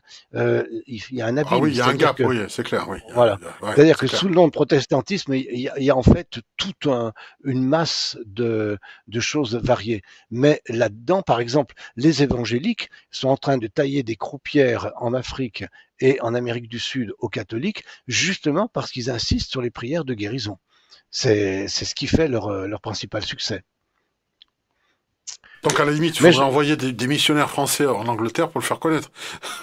je suis pas sûr que les Anglais le, recevraient pareil que dans d'autres pays. Non, alors la hiérarchie catholique commence tout doucement à s'en rendre compte, à faire le, ah. bon. Mais moi, je me souviens, alors justement, euh, quand j'étais en Côte d'Ivoire, j'y suis allé plusieurs fois. Euh, je me souviens d'une librairie catholique euh, où euh, il y avait des petits livres et on expliquait euh, aux Africains, là, enfin aux Ivoiriens, que la sorcellerie ça n'existait pas, voilà, et que c'était uniquement parce que ils n'étaient pas allés assez à l'école et que une fois qu'ils seraient bien instruits, ils seraient plus superstitieux et ils croiraient plus à la sorcellerie. il serait limite inattaquable, quoi. Inattaquable. mais non, mais c'est se moquer du monde. Ils, y naviguent quotidiennement euh, dedans et on leur dit euh, c'est vous, vous qui vous faites des idées. Euh, oui, oui, oui. À la limite, c'est l'étranger qui vient d'ailleurs qui leur explique comment euh, est leur culture. C'est gonflé. Mais allons plus loin, si tu veux, parce que je crois que j'ai pas j'ai pas posé bien la question. Tu, vas au Brésil, par exemple, ou tu vas au Mexique ou. Ils ont d'autres vierges que qu'on que, connaît même pas. Ils sont aussi chrétiens. Et ils vénèrent des. Alors, je comprends la Vierge Noire, tout ça et tout, on l'a chez nous, c'est très bien. Mais ailleurs, ils ont, ils ont des saintes qu'on a carrément pas chez nous, du tout. Et ça, ça, c'est quand même bizarre, c'est euh, curieux. Non, ça. La, la, la, Vierge de Guadalupe, c'est le un des principaux sanctuaires mondiaux euh, au niveau de la fréquentation. Et là, on est en Amérique du Sud 啊，la Guadeloupe. Euh, et, et, non seulement ça, mais euh, elle a étudié, enfin, comment dire ça C'est l'histoire d'un Indien, euh, et donc à l'époque des, conquêtes, hein, c'est l'histoire d'un Indien qui a une apparition de la Vierge, voilà. Et la Vierge, c'est un, brave Indien, un, petit paysan, et la Vierge lui dit d'aller trouver l'évêque pour qu'il construise une chapelle. et l'Indien se dit oui, mais il me faudrait une preuve quand même. Bon, et à ce moment-là, sur la chape de l'Indien, l'image de la Vierge euh, s'imprime. On l'a toujours cette tunique, elle est étudiée sous toutes les coutures, parce que par exemple, quand on regarde de très près euh, les pupilles de l'œil de la Vierge qui s'est imprimée, ça obéit à toutes les lois de l'optique, avec la déformation, avec les ombres, euh, etc. et c'est absolument impossible à refaire. Et ça, c'est un de leurs principaux sanctuaires. D'ailleurs, c'est le principal sanctuaire. Donc, comme, comme le le linceul de, Turin, tu veux dire Pareil Voilà, c'est ça, c'est un peu l'équivalent. Hein. D'accord. Sauf que là, c'est une image de la Vierge. D'accord. Et Kodak, à l'époque, avait fait des études très poussées euh, sur, euh, sur justement ce qu'on voyait dans les pupilles de l'œil et qui, qui n'est pas réalisable euh, par, par de la peinture, quoi, par des. Et, donc, aujourd'hui, c'est encore étudié, on n'a pas trouvé le mystère, quoi. C'est là. Exactement. Là, là, vous, là, en tapant sur Internet, vous trouverez facilement là, toute la documentation. Mais pour en revenir à, l'abbé Julio, donc euh, le, euh, en fait, le, le fond de la question, c'est l'abbé Julio dit voilà, euh, ces procédés, je ne les ai pas inventés, ils viennent du fond des âges. Euh, ceux qui avaient pour mission de s'en servir ne le font pas, alors faites-le vous-même. Voilà, tout, tout l'abbé Julio se résume. En gros, l'institution, en gros, l'institution qui devrait le faire ne le fait pas, donc euh, emparez-vous-en pour le. Exactement, exactement. Exactement, parce que dans les premiers siècles, c'était pas l'institution qui en était euh, le, le, détenteur exclusif. C'est fou qu'il ait été rejeté par ça parce qu'il replaçait quelque chose au centre. Voilà. Euh, moi, à l'école, on m'a gonflé avec mon bel oranger. J'aurais voulu vraiment brûler le livre dix fois. Je sais pas si tu connais cette œuvre. C'est une horreur à lire. Euh, c'est un petit garçon qui a un oranger au-dessus de sa fenêtre qui grandit en même temps que lui. Voilà. Donc, euh, l'oranger se fortifie aussi. Il y a un parallèle avec ça, avec le, végétal et lui. Et voilà. Symboliquement, moi, ça m'a toujours gonflé ces parallèles à, à la noix. Ça m'a fait perdre plus de temps. Et qu'est-ce que j'ai grugé pour dire que je lisais alors que je lisais pas? Je commence à comprendre que je, connaissais le contenu d'un livre sans le lire. Mais euh, là, pour le coup, il remet à la place quelque chose, et finalement, on voit que les choses n'ont pas tant changé que ça, puisque tu dis, voilà, il donne le livre Emparez-vous de ce que l'institution devrait transmettre, mais qu'elle ne transmet pas, donc je, vous donne ce qu'elle aurait dû vous transmettre, et puis faites-en euh, bon usage vous. Mais aujourd'hui, j'ai dit en introduction en vidéo, j'ai l'impression qu'il y a quand même un rejet de la part du public, où dès qu'il y a un, côté religieux, c'est compliqué. Alors, il y, a des, questions de génération. Euh, il y a euh, la génération, on va dire, des années 50, euh, comme ils sont tombés dans la marmite quand ils étaient petits, il y a les pros et les anti. Voilà. Mais la génération des années 90, c'est, on ne sait même pas de quoi tu parles. C'est-à-dire que euh, c'est comme si on leur parlait des, extraterrestres. Hein. Exactement, exactement. Il n'y a, pas de positionnement. tandis que nous, on était pour, on était contre et on se bagarrait euh, là-dessus. Ouais, au moins c'était clair. exactement, oui, Voilà. Mais au moins, dans les deux cas, il y avait la culture de base. Oui. Et, ça, ça n'existe plus. Et c'est là que c'est dramatique. Mais est-ce que tu crois justement, Denis, que c'est euh, la part du colibri qu'on doit faire, chacun d'entre nous, que ce soit moi, que ce soit Marc Neu, toi, à populariser cela à travers des livres, des formations et, ce qu'on propose Là, peut-être qu'il y a un retour de ça. Peut-être que l'histoire se souviendra de. Ah, mais il y a un retour parce que de toute façon, euh, l'aspiration au spirituel, elle fait partie des besoins fondamentaux de l'être humain. Euh, Jung l'a suffisamment répété, et qu'on a beau l'étouffer par tous les moyens, de toute manière, ça ressortira. Donc là, euh, euh on peut pas. Euh, c'est comme si on, interdisait de respirer. Donc, euh, il y a un moment donné, on reprend son souffle. Hein. Alors, sous des formes qui nous échapperont sans doute, mais on, ne connaît pas. René Guénon avait bien mis ça en évidence. Hein. Notre civilisation nord-européenne occidentale est la seule dans toute l'histoire connue de l'humanité, et depuis deux siècles et demi à peu près, à s'être bâtie sur des prémices purement matérialistes. Il n'y a pas d'autre. il n'y a pas d'autre. Il, y a toujours eu une transcendance. Alors ça a pu prendre mille formes, de l'animisme, du bouddhisme, tout ce que vous voulez, mais euh, le fait de dire il n'y a pas d'autre niveau de réalité, euh, ça n'existe pas dans l'histoire. Vous allez en Afrique noire, je dis, j'en parle d'autant plus. Attends, tu, es en train de dire que ce qu'on vit actuellement, cette déspiritualisation est, unique dans l'histoire. Ça c'est jamais arrivé euh, auparavant. Euh, bah, donne-moi une, grande civilisation euh, qui se soit bâtie sur des prémices matérialistes. C'est-à-dire sans transcendance. C'est tout. Donc, donc en clair, à l'échelle de l'histoire, on est une anomalie. Ah oui, d'accord. Et maintenant, Allez, allez en Afrique noire, allez dans un village d'Afrique noire, euh, vous dites aux villageois que vous êtes chrétien, pas de problème, animiste, pas de problème, musulman, pas de problème, athée, c'est quoi? Ben, il n'y a pas d'autre dimension. Mais ils vous regardent comme si vous, êtes, vous étiez un handicapé. Parce que lui, lui, il les vit, ces niveaux de réalité. Hmm. Donc, Là, il comprend pas là. N'importe quoi comme religion. il y a un bug, il y a un écran bleu, il y a le PC qui n'arrive euh, pas à démarrer, ça tourne en boucle. Euh, Ce que je veux dire, c'est que il faut faire attention. Ce qu'on nous explique comme étant nous des choses bizarres, étranges, sont en réalité la normalité ailleurs. Voilà. Hmm. Donc, euh, donc l'intérêt pour le spirituel, je ne parle pas d'une religion particulière, mais l'intérêt pour le spirituel, c'est normal. C'est une aspiration normale de l'être humain comme de manger ou de respirer. Alors que ici, on s'efforce de nous présenter comme euh, une sorte de vestige à éradiquer. Oui. Mais euh, voilà, mais vous faites 3000 km dans l'autre sens, euh, c'est pas du tout comme ça. On, parlait tout à l'heure des, royalistes ou pas royalistes. Moi, j'avais mes deux nièces, l'une qui faisait ses études à Londres et l'autre qui faisait ses études à Paris, et on leur racontait exactement l'inverse. Hein. C'est. Oui. Euh,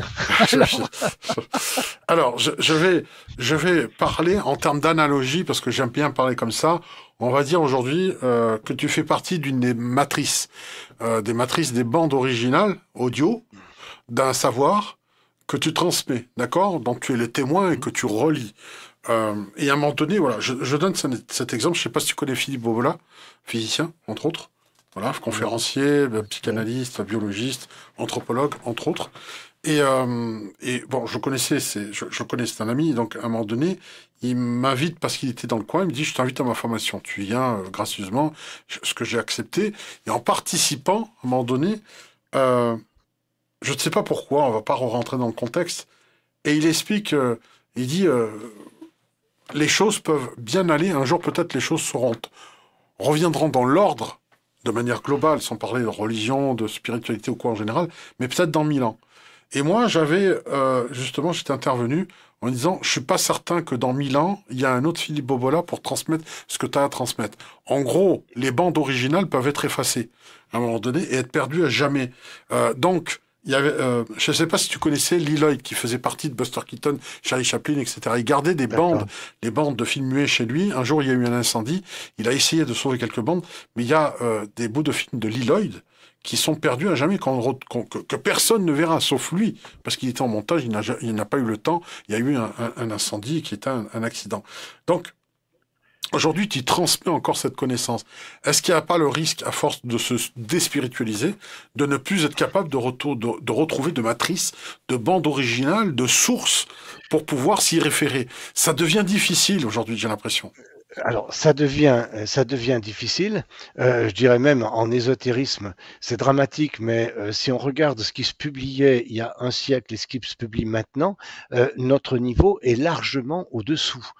c'est terrible, alors qu'on a beaucoup plus de moyens de, de connaissances.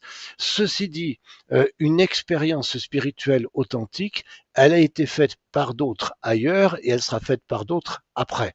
Donc, ça se colorera avec une autre culture, mais l'expérience, elle, elle est là. Euh, et ah, on ne pourra jamais l'étouffer. Tout à l'heure, tu parlais des manuscrits de la mer morte. Bon, si je parle euh, des, alors non pas des manuscrits de la mer morte, mais des textes gnostiques de Nag Hammadi euh, qui, ont été découverts en 1945 en Haute-Égypte. Bon, c'était des communautés chrétiennes qui étaient entièrement basées sur l'expérience. Voilà, qui disaient que les évêques étaient des canaux asséchés, pour prendre une de leurs phrases. Bon, ah, j'aime bien cette formule. J'aime bien, bien, les canaux asséchés, pas mal, pas mal. Or ces gnostiques, euh, comme eux étaient plutôt des libertaires, disons, euh, sur le fond, euh, ont été complètement laminés parce que face à une église organisée disposant des forces de l'Empire, donc ils ont été laminés. on ne connaissait leurs textes que par leurs opposants, les citations qu'ils en faisaient. or, tout au long des siècles, ici, là, pof, il y a quelqu'un qui a fait la même expérience, qui n'avait pas la moindre idée de, l'existence même de ces fameux textes gnostiques qui étaient perdus, donc euh, et qui refaisait la même expérience. Un Jacob Böhm. Un, ah d'accord. Donc tu en train de me dire qu'en gros, même si les, les, cassettes, les bandes de sources que, euh, qui détiennent la connaissance comme toi et d'autres personnes euh, s'éteignent avec le temps, s'oublient, l'expérienceur nouveau qui va revivre cela, ces expériences qu'on peut les appeler mystiques, sans trop de danger, vont retranscrire et retrouver cette euh, mémoire enseignement perdu. Tu étais conscient là-dessus, toi? Ah, moi, je suis relativement confiant. Je prends un exemple, une grande guérisseuse euh, de la fin du 19e siècle, Marie Baker Eddy, bon, qui avait fondé un mouvement. Euh, Marie Baker Eddy, ça, lui tombe dessus presque instantanément. Pof, elle, était, elle avait les vertèbres disloquées. Euh, c'est le diagnostic qu'on a fait. on lui lit un passage de l'évangile de Matthieu, et puis il y a un éclairage, pouf, elle se relève guérie. Et après, donc, elle, elle a sorti tout un enseignement à partir de là. Et il se trouve que cette brave dame, qui avait jamais entendu parler des gnostiques, de tout ce que je viens de raconter, hein, euh, il se trouve que euh, à la même époque, un archéologue trouve un fragment de l'évangile de Thomas. Et l'évangile de Thomas, on n'avait qu'un fragment à ce moment-là. Euh, il faudra attendre justement 1945 pour découvrir l'intégralité avec ces fameux textes égyptiens. Et quand elle lit le bouquin fait par cet archéologue, c'est tellement ce qu'elle a vécu dans cet évangile de Thomas qu'elle écrit à son éditeur pour lui dire Faites bien savoir que j'ai écrit mon livre avant qu'on fasse cette découverte. Hein. Hein, parce qu'on va, me dire, on va me dire que j'ai plagié. Ah oui, d'accord. Ah oui, oui. il fallait qu'elle précise. Alors, ça, ça, ça, pose un autre problème. Je vais revenir. Je suis désolé sur les roast beef, hein, nos cousins euh, euh, anglais. Euh, étant donné que c'est une île, hein, Angleterre, c'est terre angulaire, hein, voilà, pour, euh, pour recentrer la chose, mais il s'est entouré d'eau. J'imagine bien, Denis, euh, je sais qu'on sort du contexte un peu de l'abbé Julien, mais on est dans les, dans, dans les perceptions interprétatives. Hein, on peut parler de ça. Mais les Anglais ne me dit ne me pas quand même qu'ils ont euh, interprété le déluge de la même manière. Ils sont déjà entourés d'eau. Donc comment ont-ils vécu? Ils étaient au centre du déluge. Le déluge, ça s'est passé chez nous, cup of tea. Euh, J'en sais rien.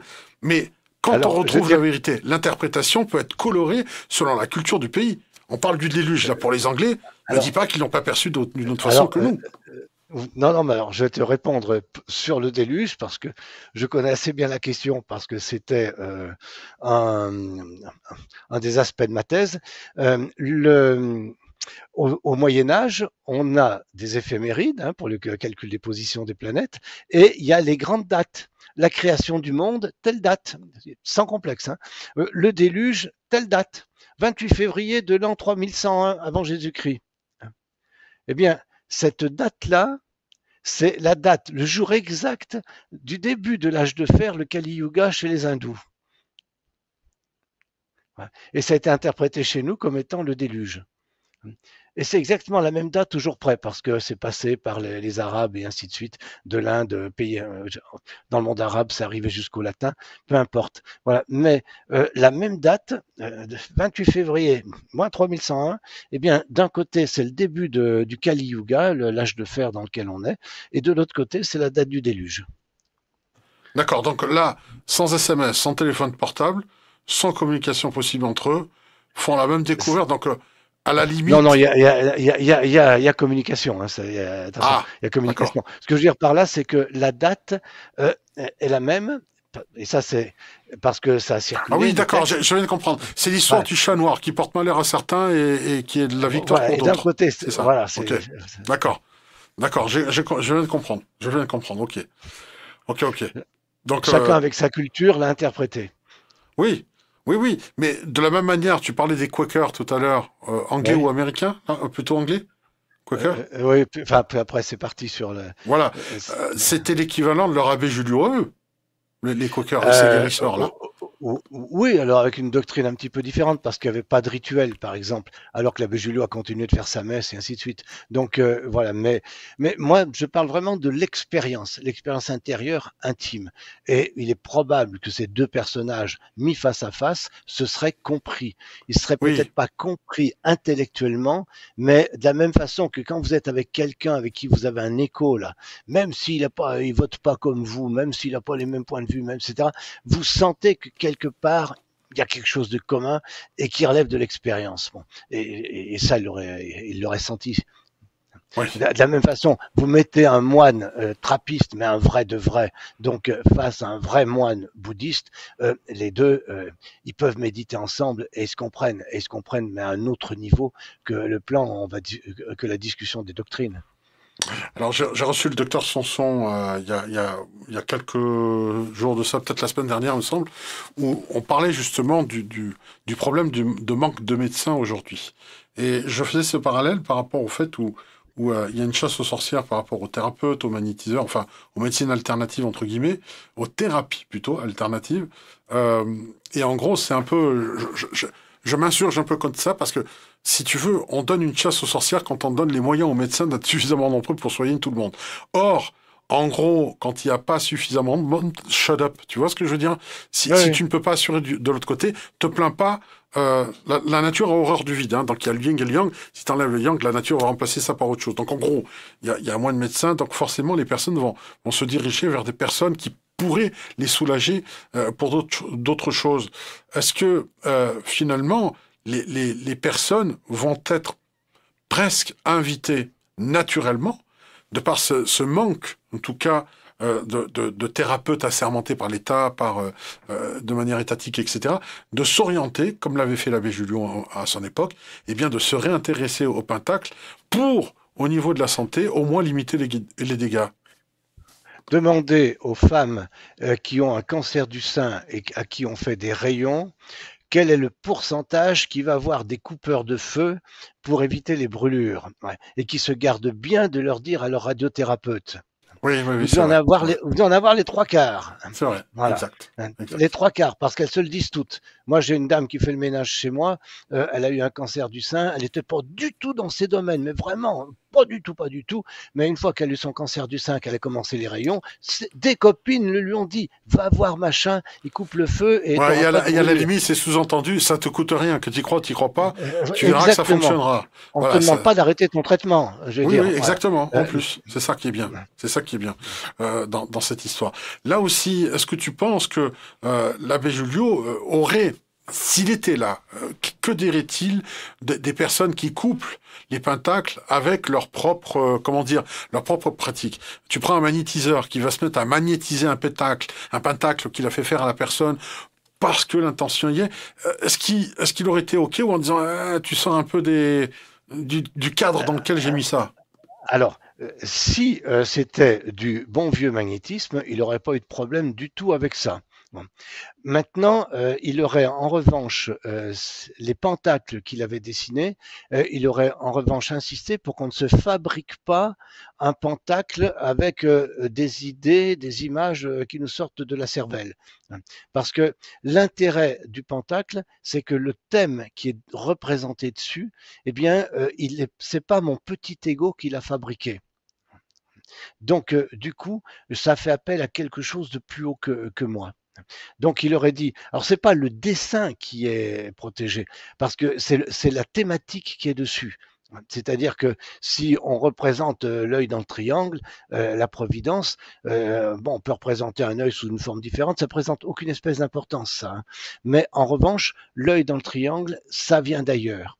Alors que si je me dis, tiens, je veux, je vais me fabriquer un talisman et je vais inventer un dessin original, euh, un truc euh, pas vu. bon, et ben là, c'est mon ego qui interfère, c'est mon ego qui intervient. et là, on perd je pense, un, un certain oui, la magie, on, perd, on, perd, on, perd, cette connexion. On va dire. Alors, tu, tu, connais, il y a Jésualda qui est donc qui est en Guadeloupe, qui est qui est dans, dans, dans, le chat, qui elle carrément a tenu à faire construire sa maison. Tiens-toi bien avec 46 murs pourquoi? Parce qu'elle a mis euh, les 47 pentacles, histoire à chaque fois de les revisiter en permanence. Elle les a peints carrément. Euh, enfin, sa baraque, c'est juste un domaine, c'est même plus une maison. Donc ça aussi, c'est à chaque fois optimisé. Est-ce que vivre, est-ce qu'il y a, est-ce que tu as connu des fanatiques comme Jésus Alda des pentacles au point d'en mettre de partout, de vivre en permanence avec ça, histoire de, voilà, vaut mieux prévenir que guérir, histoire de se surprotéger. Là, ça devient de la paranoïa à ce niveau-là. Mais est-ce qu'il y en a eu dans l'histoire? Alors, à ma connaissance, je n'en connais pas. Bon, je connais des gens qui ont tendance à se faire cinq ou six pentacles euh, dans la foulée. Euh, je suis pas euh, très chaud euh, pour pour ça, tout simplement parce qu'il ne faut pas confondre l'objectif et les moyens de l'atteindre. ça veut dire quoi? Euh, imaginez que j'ai euh, la personne qui, me dit bon, euh, je vais faire un pentacle de richesse parce que j'ai besoin de 10 000 dollars. Hein, ok? Tu besoin de 10 000 dollars, pourquoi faire? Eh bien parce qu'il faut que je paye les traites de la maison, j'ai des enfants élevés, etc. Bon. Mais si ces 10 000 dollars arrivaient autrement que la manière dont tu l'imagines, ça se poserait pas de problème. Non. Donc en fait, ce que tu veux, c'est pas 10 000 dollars. Ce que tu veux, c'est que des besoins soient couverts. Oui. Oui, c'est pas pareil, c'est vrai. Voilà. C'est différent. Donc tu veux, donc tu veux la paix de l'esprit, la paix de l'âme et te sentir en sécurité. Oui. Exact. Donc ton objectif, c'est se sentir en sécurité. C'est pas avoir 10 000 dollars oui, oui, au loto. Oui, en gros, en gros, ne choisis pas le modèle de voiture. Cherche un moyen de locomotion. C'est pas voilà. Voilà. Hein? Tu as besoin d'une voiture pour aller bosser. Bon, donc en fait, et pourquoi tu as besoin d'aller bosser? Ben Parce que ou bien je gagne ma vie. Euh, et, à chaque fois, on retombe. Il y a un besoin de sécurité, il y a un besoin de tranquillité, il y a un besoin de paix de l'esprit. Ah oui, donc on revient même à la base. Ok. Voilà. donc c'est ça, ton... c'est ça ton objectif. Voilà, c'est ça ton objectif. Le reste, ce sont tous des moyens accessoires. Ok, donc c'est vrai que le choix de l'utilisation d'un pentacle, il faut effectivement connaître le besoin source et, plutôt euh, pas connaître le moyen pour atteindre. Enfin, c'est pas la destination qui qui qui, euh, compte, mais plutôt le, son voyage. Exactement. Et c'est pour ça que une fois qu'on a identifié le véritable objectif, on n'a plus besoin d'en faire cinq ou six en même temps, parce que l'objectif va se recouper. Euh, ce sont des moyens de se border à droite à gauche, euh, voilà. Mais, mais en réalité, euh, l'objectif va être le même.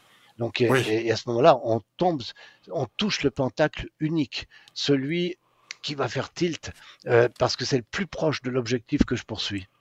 D'accord. Donc, donc, ça explique aussi le, le fait que Ben, je crois que c'est un peu comme un médecin. S'il pose un mauvais diagnostic, il va donner le mauvais traitement et le traitement va être inefficace.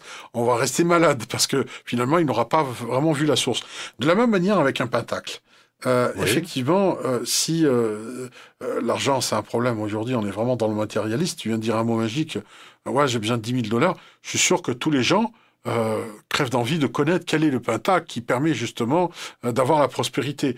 Mais effectivement, ils vont se dire j'ai fait le pentacle prospérité, j'ai pas eu plus d'argent qu'avant, etc., etc. Parce qu'ils ont mal diagnostiqué leurs vrais besoins. tu parlais de sécurité, c'est un, un, exemple. Il y a des personnes qui se disent voilà, ma maladie coûte cher et aucune mutuelle couvre les soins.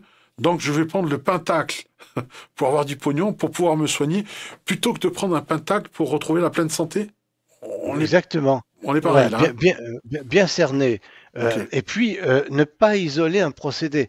Euh, il ne serait pas venu à l'idée de l'abbé Julio que on fabrique un pentacle et puis une fois qu'il est fabriqué, on est quitte. C'est-à-dire que euh, dans la, pour l'abbé Julio, euh, bah, tous les jours, euh, il faut quand même faire un, petit moment, alors de prière pour l'abbé Julio, on peut dire de méditation si on veut d'autres choses. Bien sûr. Donc pour l'abbé Julio, il y a la notion de la dîme, c'est-à-dire je vais donner au, au, au mendiant qui est en bas de chez moi, quand je vais passer, je vais donner la pièce. Voilà, c'est-à-dire qu'il y a une attitude euh, qui montre que je collabore, voilà, et que je suis pas simplement un consommateur de pentacles.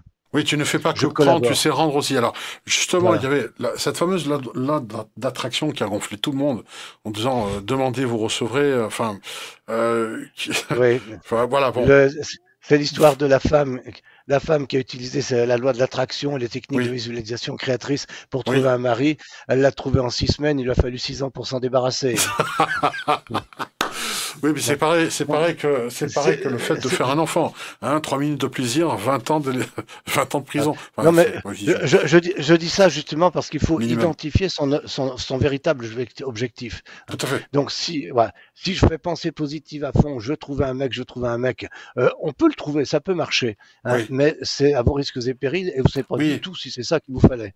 C'est vrai, c'est vrai. Mais regarde, pour, pour, pour, pour reprendre le parallèle que tu disais à un moment donné, euh, de rendre un petit peu, de jouer le jeu finalement. Si on mmh. demande la prospérité, il faut savoir redonner. Alors, c'est vrai qu'à un moment donné, quelqu'un m'avait dit, écoute, tu sais pourquoi la, la, la, la loi de l'attraction ne, ne marche pas pour certains? Je dis, bah, écoute, si tu sais, dis-moi, moi je veux bien savoir.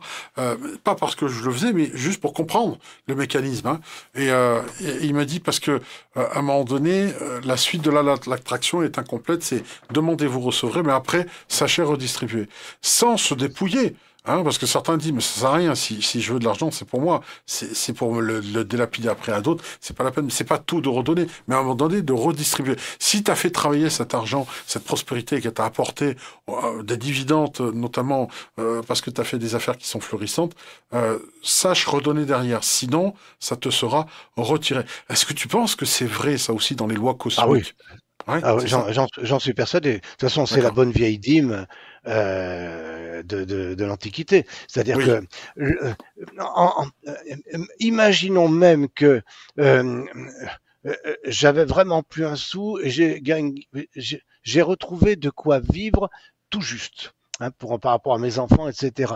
Et que je me dise, bon, j'ai pas les moyens de donner de l'argent, d'en faire cadeau à quelqu'un, mais je peux donner du temps à quelqu'un.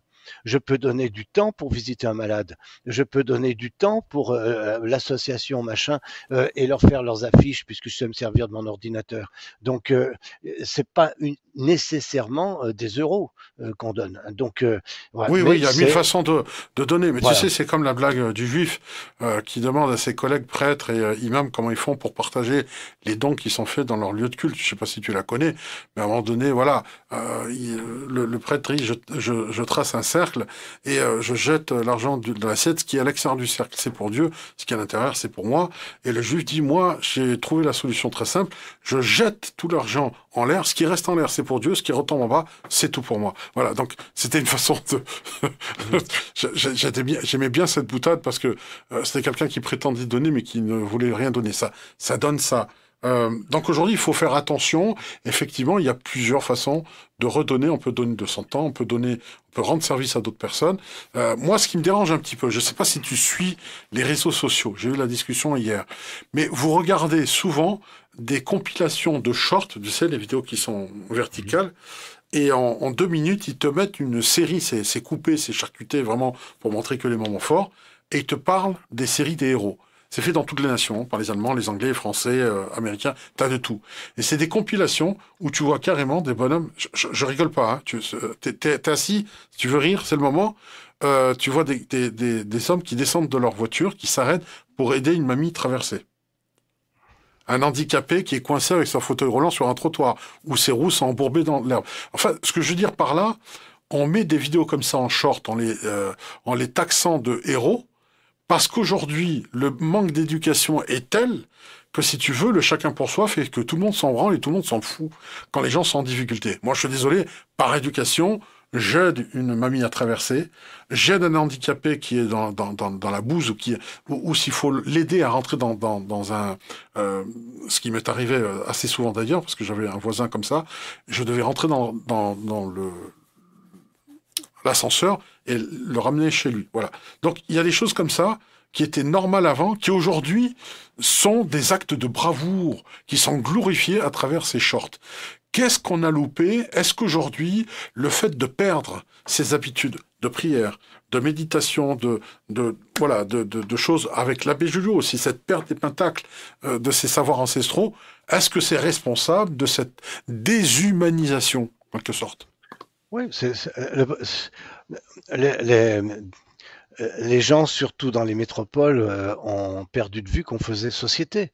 Euh, quand je suis à la campagne, dans la maison de ma mère, eh bien, on, on se croise avec d'autres gens qu'on ne connaît pas, on ne s'est pas vu, et on se dit bonjour en passant. Voilà. Le gamin qui est sur son vélo, on ne le connaît pas, euh, mais quand il passe euh, devant nous, euh, il dit bonjour. Bon, c'est, voilà, il y a encore des vestiges comme ça de, de faire société. Euh, alors que je me souviens un jour, j'étais dans le métro à Paris, euh, devant moi, il y a une brave dame qui s'affale par terre parce qu'elle rate la marche. Je me baisse pour l'aider à se ramasser. Elle me dit non, non, non, pas moi. moi, je dis bah, restez par terre. Qu'est-ce que vous voulez? Bon, Ah oui, d'accord, oui, d'accord. ah oui, oui. La faute aux deux sens. Donc, euh, des gens qui n'aident plus, mais des gens qui ne souhaitent plus être aidés parce que ça va être forcément de ah. l'agression, du vol ou autre chose. Euh, parce qu'à Paris, à Paris, la, règle, c'est l'indifférence parce que c'est un pacte de non-agression. Voilà. Ah, ah oui, ok, ok. Euh, alors qu'à la campagne, c'est le contraire. C'est oui. On, doit céder. J'entends, j'entends ça. Alors, c'est quelqu'un qui dit. Alors, attends, hein. justement, parce que donner de l'argent, oui, parce que donner de l'argent, c'est plus facile que d'écouter ou aider son prochain. C'est pas faux. Hein, il y a des personnes qui, euh, euh, qui, qui, font ça. Et il y a des pères qui, souvent, quand ils sont en visite avec leur gamin, préfèrent leur acheter un iPhone en disant Voilà, je, je suis un bon papa, je t'ai payé un truc à 1800 euros, mais j'ai pas le temps. Papa travaille. Bon, c'est pour ceux qui ont les moyens, notamment. Et pour ceux qui n'ont pas les moyens, ils s'endettent euh, justement avec, en payant 10 fois, histoire de, de, de, dire Je suis pas souvent là, mais au moins, je t'achète ce dont tu as besoin. Et, si, les parents, si les parents sont divorcés, le gamin il joue sur les deux tableaux. Exactement. Très habilement. C'est ça. c'est ça. Il demande au papa euh, l'iPhone et il dit à la mère, t'as vu, papa m'a acheté un iPhone. Donc maintenant, il faut que toi tu me payes un PC. Un PC gamer, hein, tant qu'à faire. ou la dernière console PlayStation 5 ou quoi que ce soit. Alors, j'ai loupé un truc qui, qui, qui, qui me semblait important de dire. Alors, oui, pour recevoir, il faut savoir donner, mais donner sans attendre en retour. Non Point d'interrogation. C'est lui qui me dit ça. Parce que ça aussi, on l'a perdu, le fait de donner sans forcément recevoir. Il y a une sorte Alors, je, je, peux sortir une, boutade. Une boutade Allez, vas-y, je t'en prie. Hein, Mieux vaut donner quelque chose avec ostentation que rien du tout avec discrétion. Bon. Je l'ai dit. merci, merci. Non, non, c'est joliment dit. Merci. Alors... Non, mais, non, mais c'est tout à fait, tout à fait vrai. C'est-à-dire que c'est pas euh, je donne, mais il y a un élastique qui est au bout du billet. Hein. Ah. Je donne afin que ça me revienne. Voilà. Oui, j'entends bien. Bah, euh, justement, on est dedans. Tu vois comme quoi il y a jamais un de hasard. Tu viens justement de mettre le doigt sur ce que je voulais revenir. Euh, Aminata qui dit les fonds, fondations déductible des impôts pour les milliardaires. Alors ça aussi, c'est vrai que le mécénat, j'ai dit, oh là là, quel grand seigneur et tout, jusqu'à ce que j'ai appris, à un moment donné, que le mécénat, que ce soit même pour l'art, c'est en fait un placement. C'est déjà de l'optimisation fiscale, hein, parce que c'est déduit euh, des impôts. Donc quand j'ai vu Rothschild, euh, justement, et les Rockefeller euh, investir dans, dans Versailles, notamment, qui est en permanence en rénovation. On passe des toits aux tuyauteries, puis on remonte, parce qu'entre-temps, il s'est passé 20 années, il faut recommencer. Euh, en fait, c'est uniquement de l'optimisation fiscale des entreprises qu'ils ont en France, de leur surcussal en France. Euh, donc finalement, je me suis dit, bon, bah, l'art, peut-être pour lancer nouveaux artistes, en fait, ils ont l'œil. C'est un, c'est un placement de produit en disant, j'achète un tableau qui vaut pas grand-chose aujourd'hui, mais plus tard, il vaudra cher, on le sait. Et dans la masse de tout ce qu'ils achètent, ils savent qu'il y en aura un qui deviendra un, artiste connu et qui euh, remportera la palme et qui compensera tous les investissements des autres tocards qui n'auront pas, qui n'auront pas ressurgi.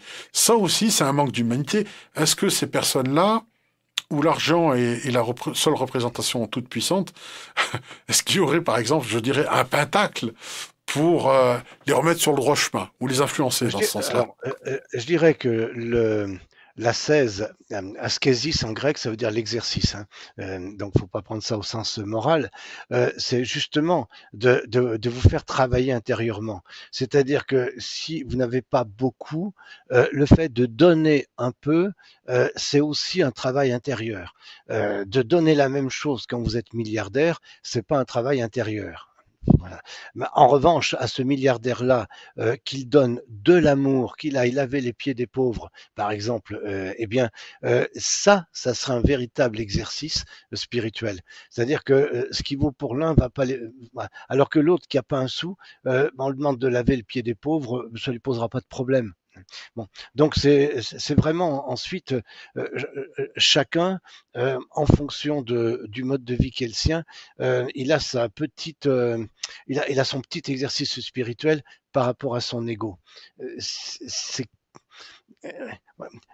que ce milliardaire donne de l'amour déjà à ses enfants, sans aller chercher bien loin, et à sa femme, et il aura déjà fait un gros progrès. Vous savez, les, tu sais, les, médiévaux avaient réfléchi à la question, hein, les, théologiens médiévaux, euh, qu'est-ce qu'on a le droit de demander Bon.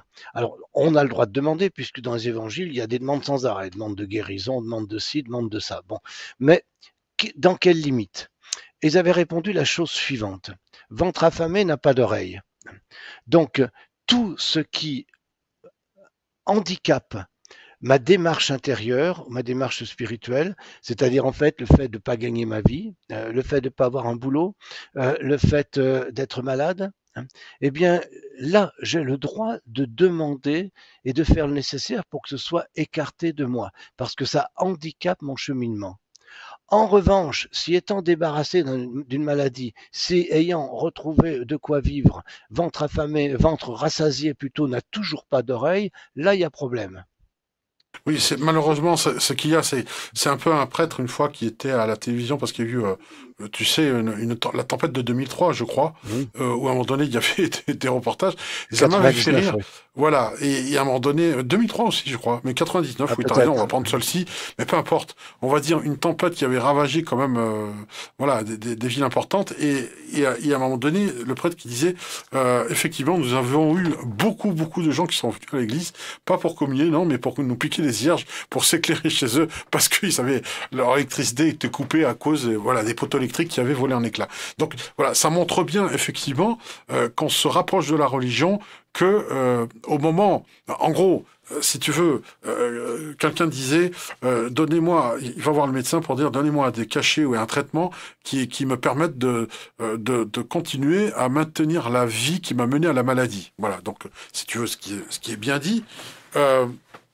et de la même manière, je perds le fil, je suis désolé, il y a des personnes qui ont fumé pendant 40 ans et lorsqu'on détecte un problème au poumon, pense, j'en ai eu hein, dans la boutique aussi qui viennent, et demandent une neuvaine ou autre pour euh, demander un miracle, une guérison. Et euh, ils se disent, euh, j'ai brûlé la neuvaine, etc., ça, va toujours pas mieux. quelquefois, je, je, leur dis, je leur dis, pendant 40 ans, vous avez, entre guillemets, déconné, hein, sans jugement, hein, vraiment, vous avez mené cette vie-là, vous avez malmené votre corps, pensez pas que ça va être une, une neuvaine et trois salut Marie qui va arranger le, le problème magiquement parlant. surtout, qu'auparavant, lorsque tu demandais à ces personnes-là s'ils étaient spirituels, pas du tout. Donc, on rejoint ce que tu dis.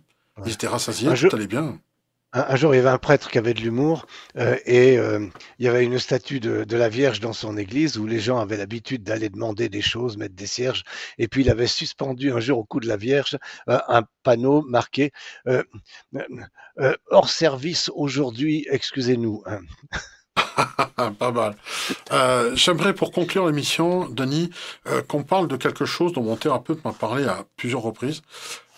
tu sais, on a toujours une espèce d'inversion des valeurs on est dedans, hein, d'accord Aujourd'hui, on est à l'envers. Euh, aujourd'hui, ce qui semble être bien est vu comme du mal, et le mal est par contre euh, euh, encensé. Certains philosophes comme Michel Onfray et bien d'autres commencent à dire qu'aujourd'hui, on est dans une époque de la célébration de la médiocrité, ce qui résume assez bien ce qu'on en vit actuellement.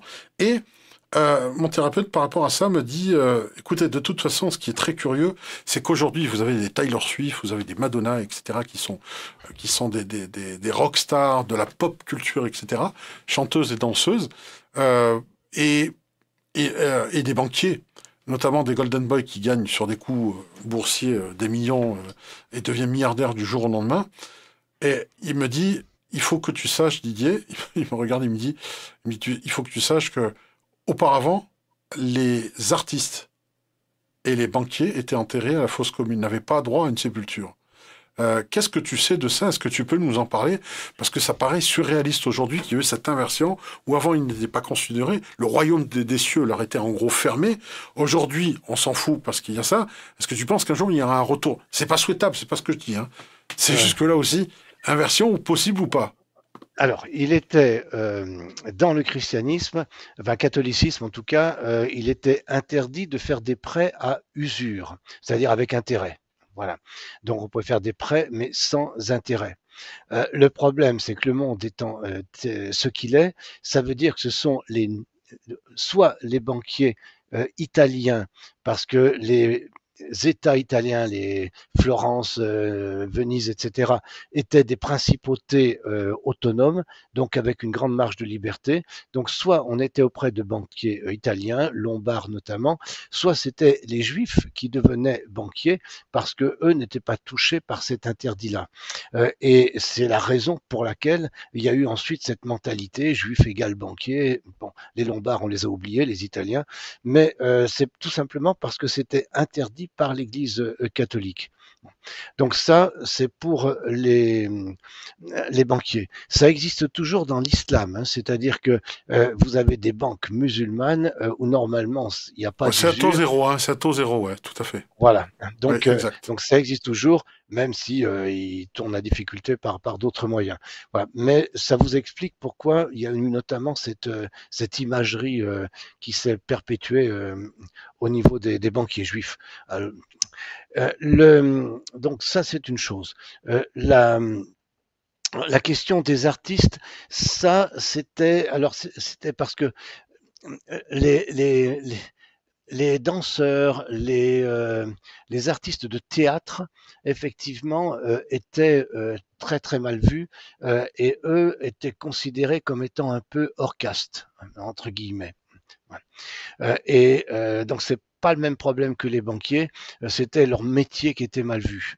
Par exemple, euh, champion sportif euh, au Moyen Âge, c'est pas un, c'est pas un statut. Hein. Donc, euh, oui. Or aujourd'hui, on les appelle les dieux du stade. Hein. Il y a une dérive dessus qui est juste terrible. ok, entre parenthèses.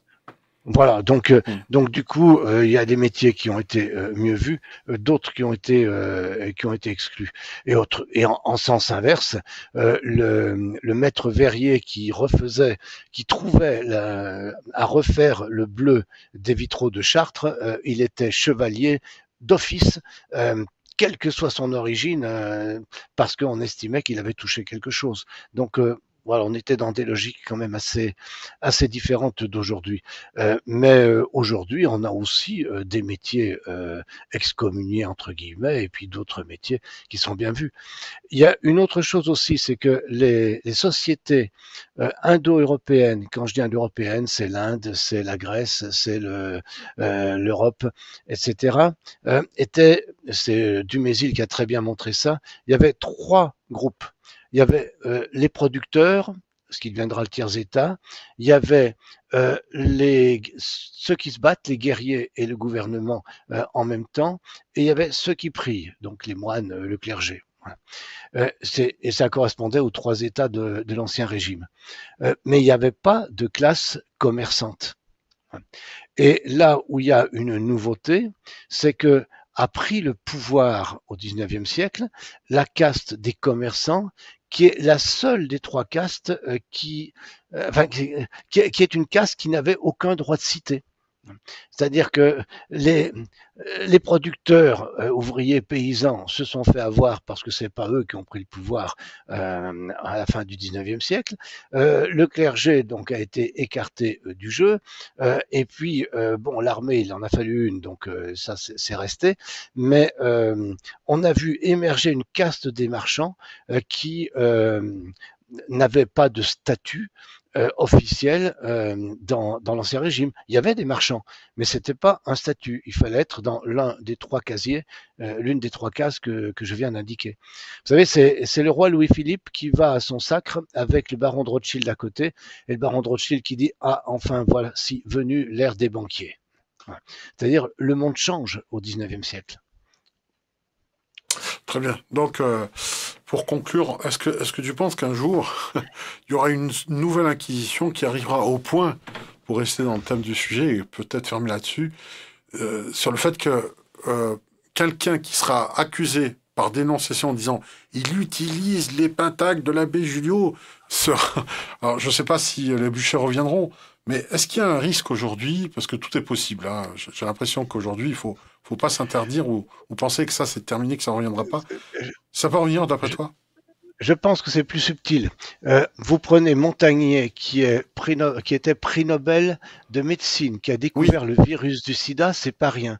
À partir du moment où il s'est intéressé à d'autres choses, mémoire de l'eau et compagnie, il est devenu un paria. Et quand il est mort, euh, les radios, les télés, les médias ont quasiment fait silence. Ça a été une brève, alors que le type était prix Nobel et avait découvert le virus du sida, euh, une épidémie mondiale.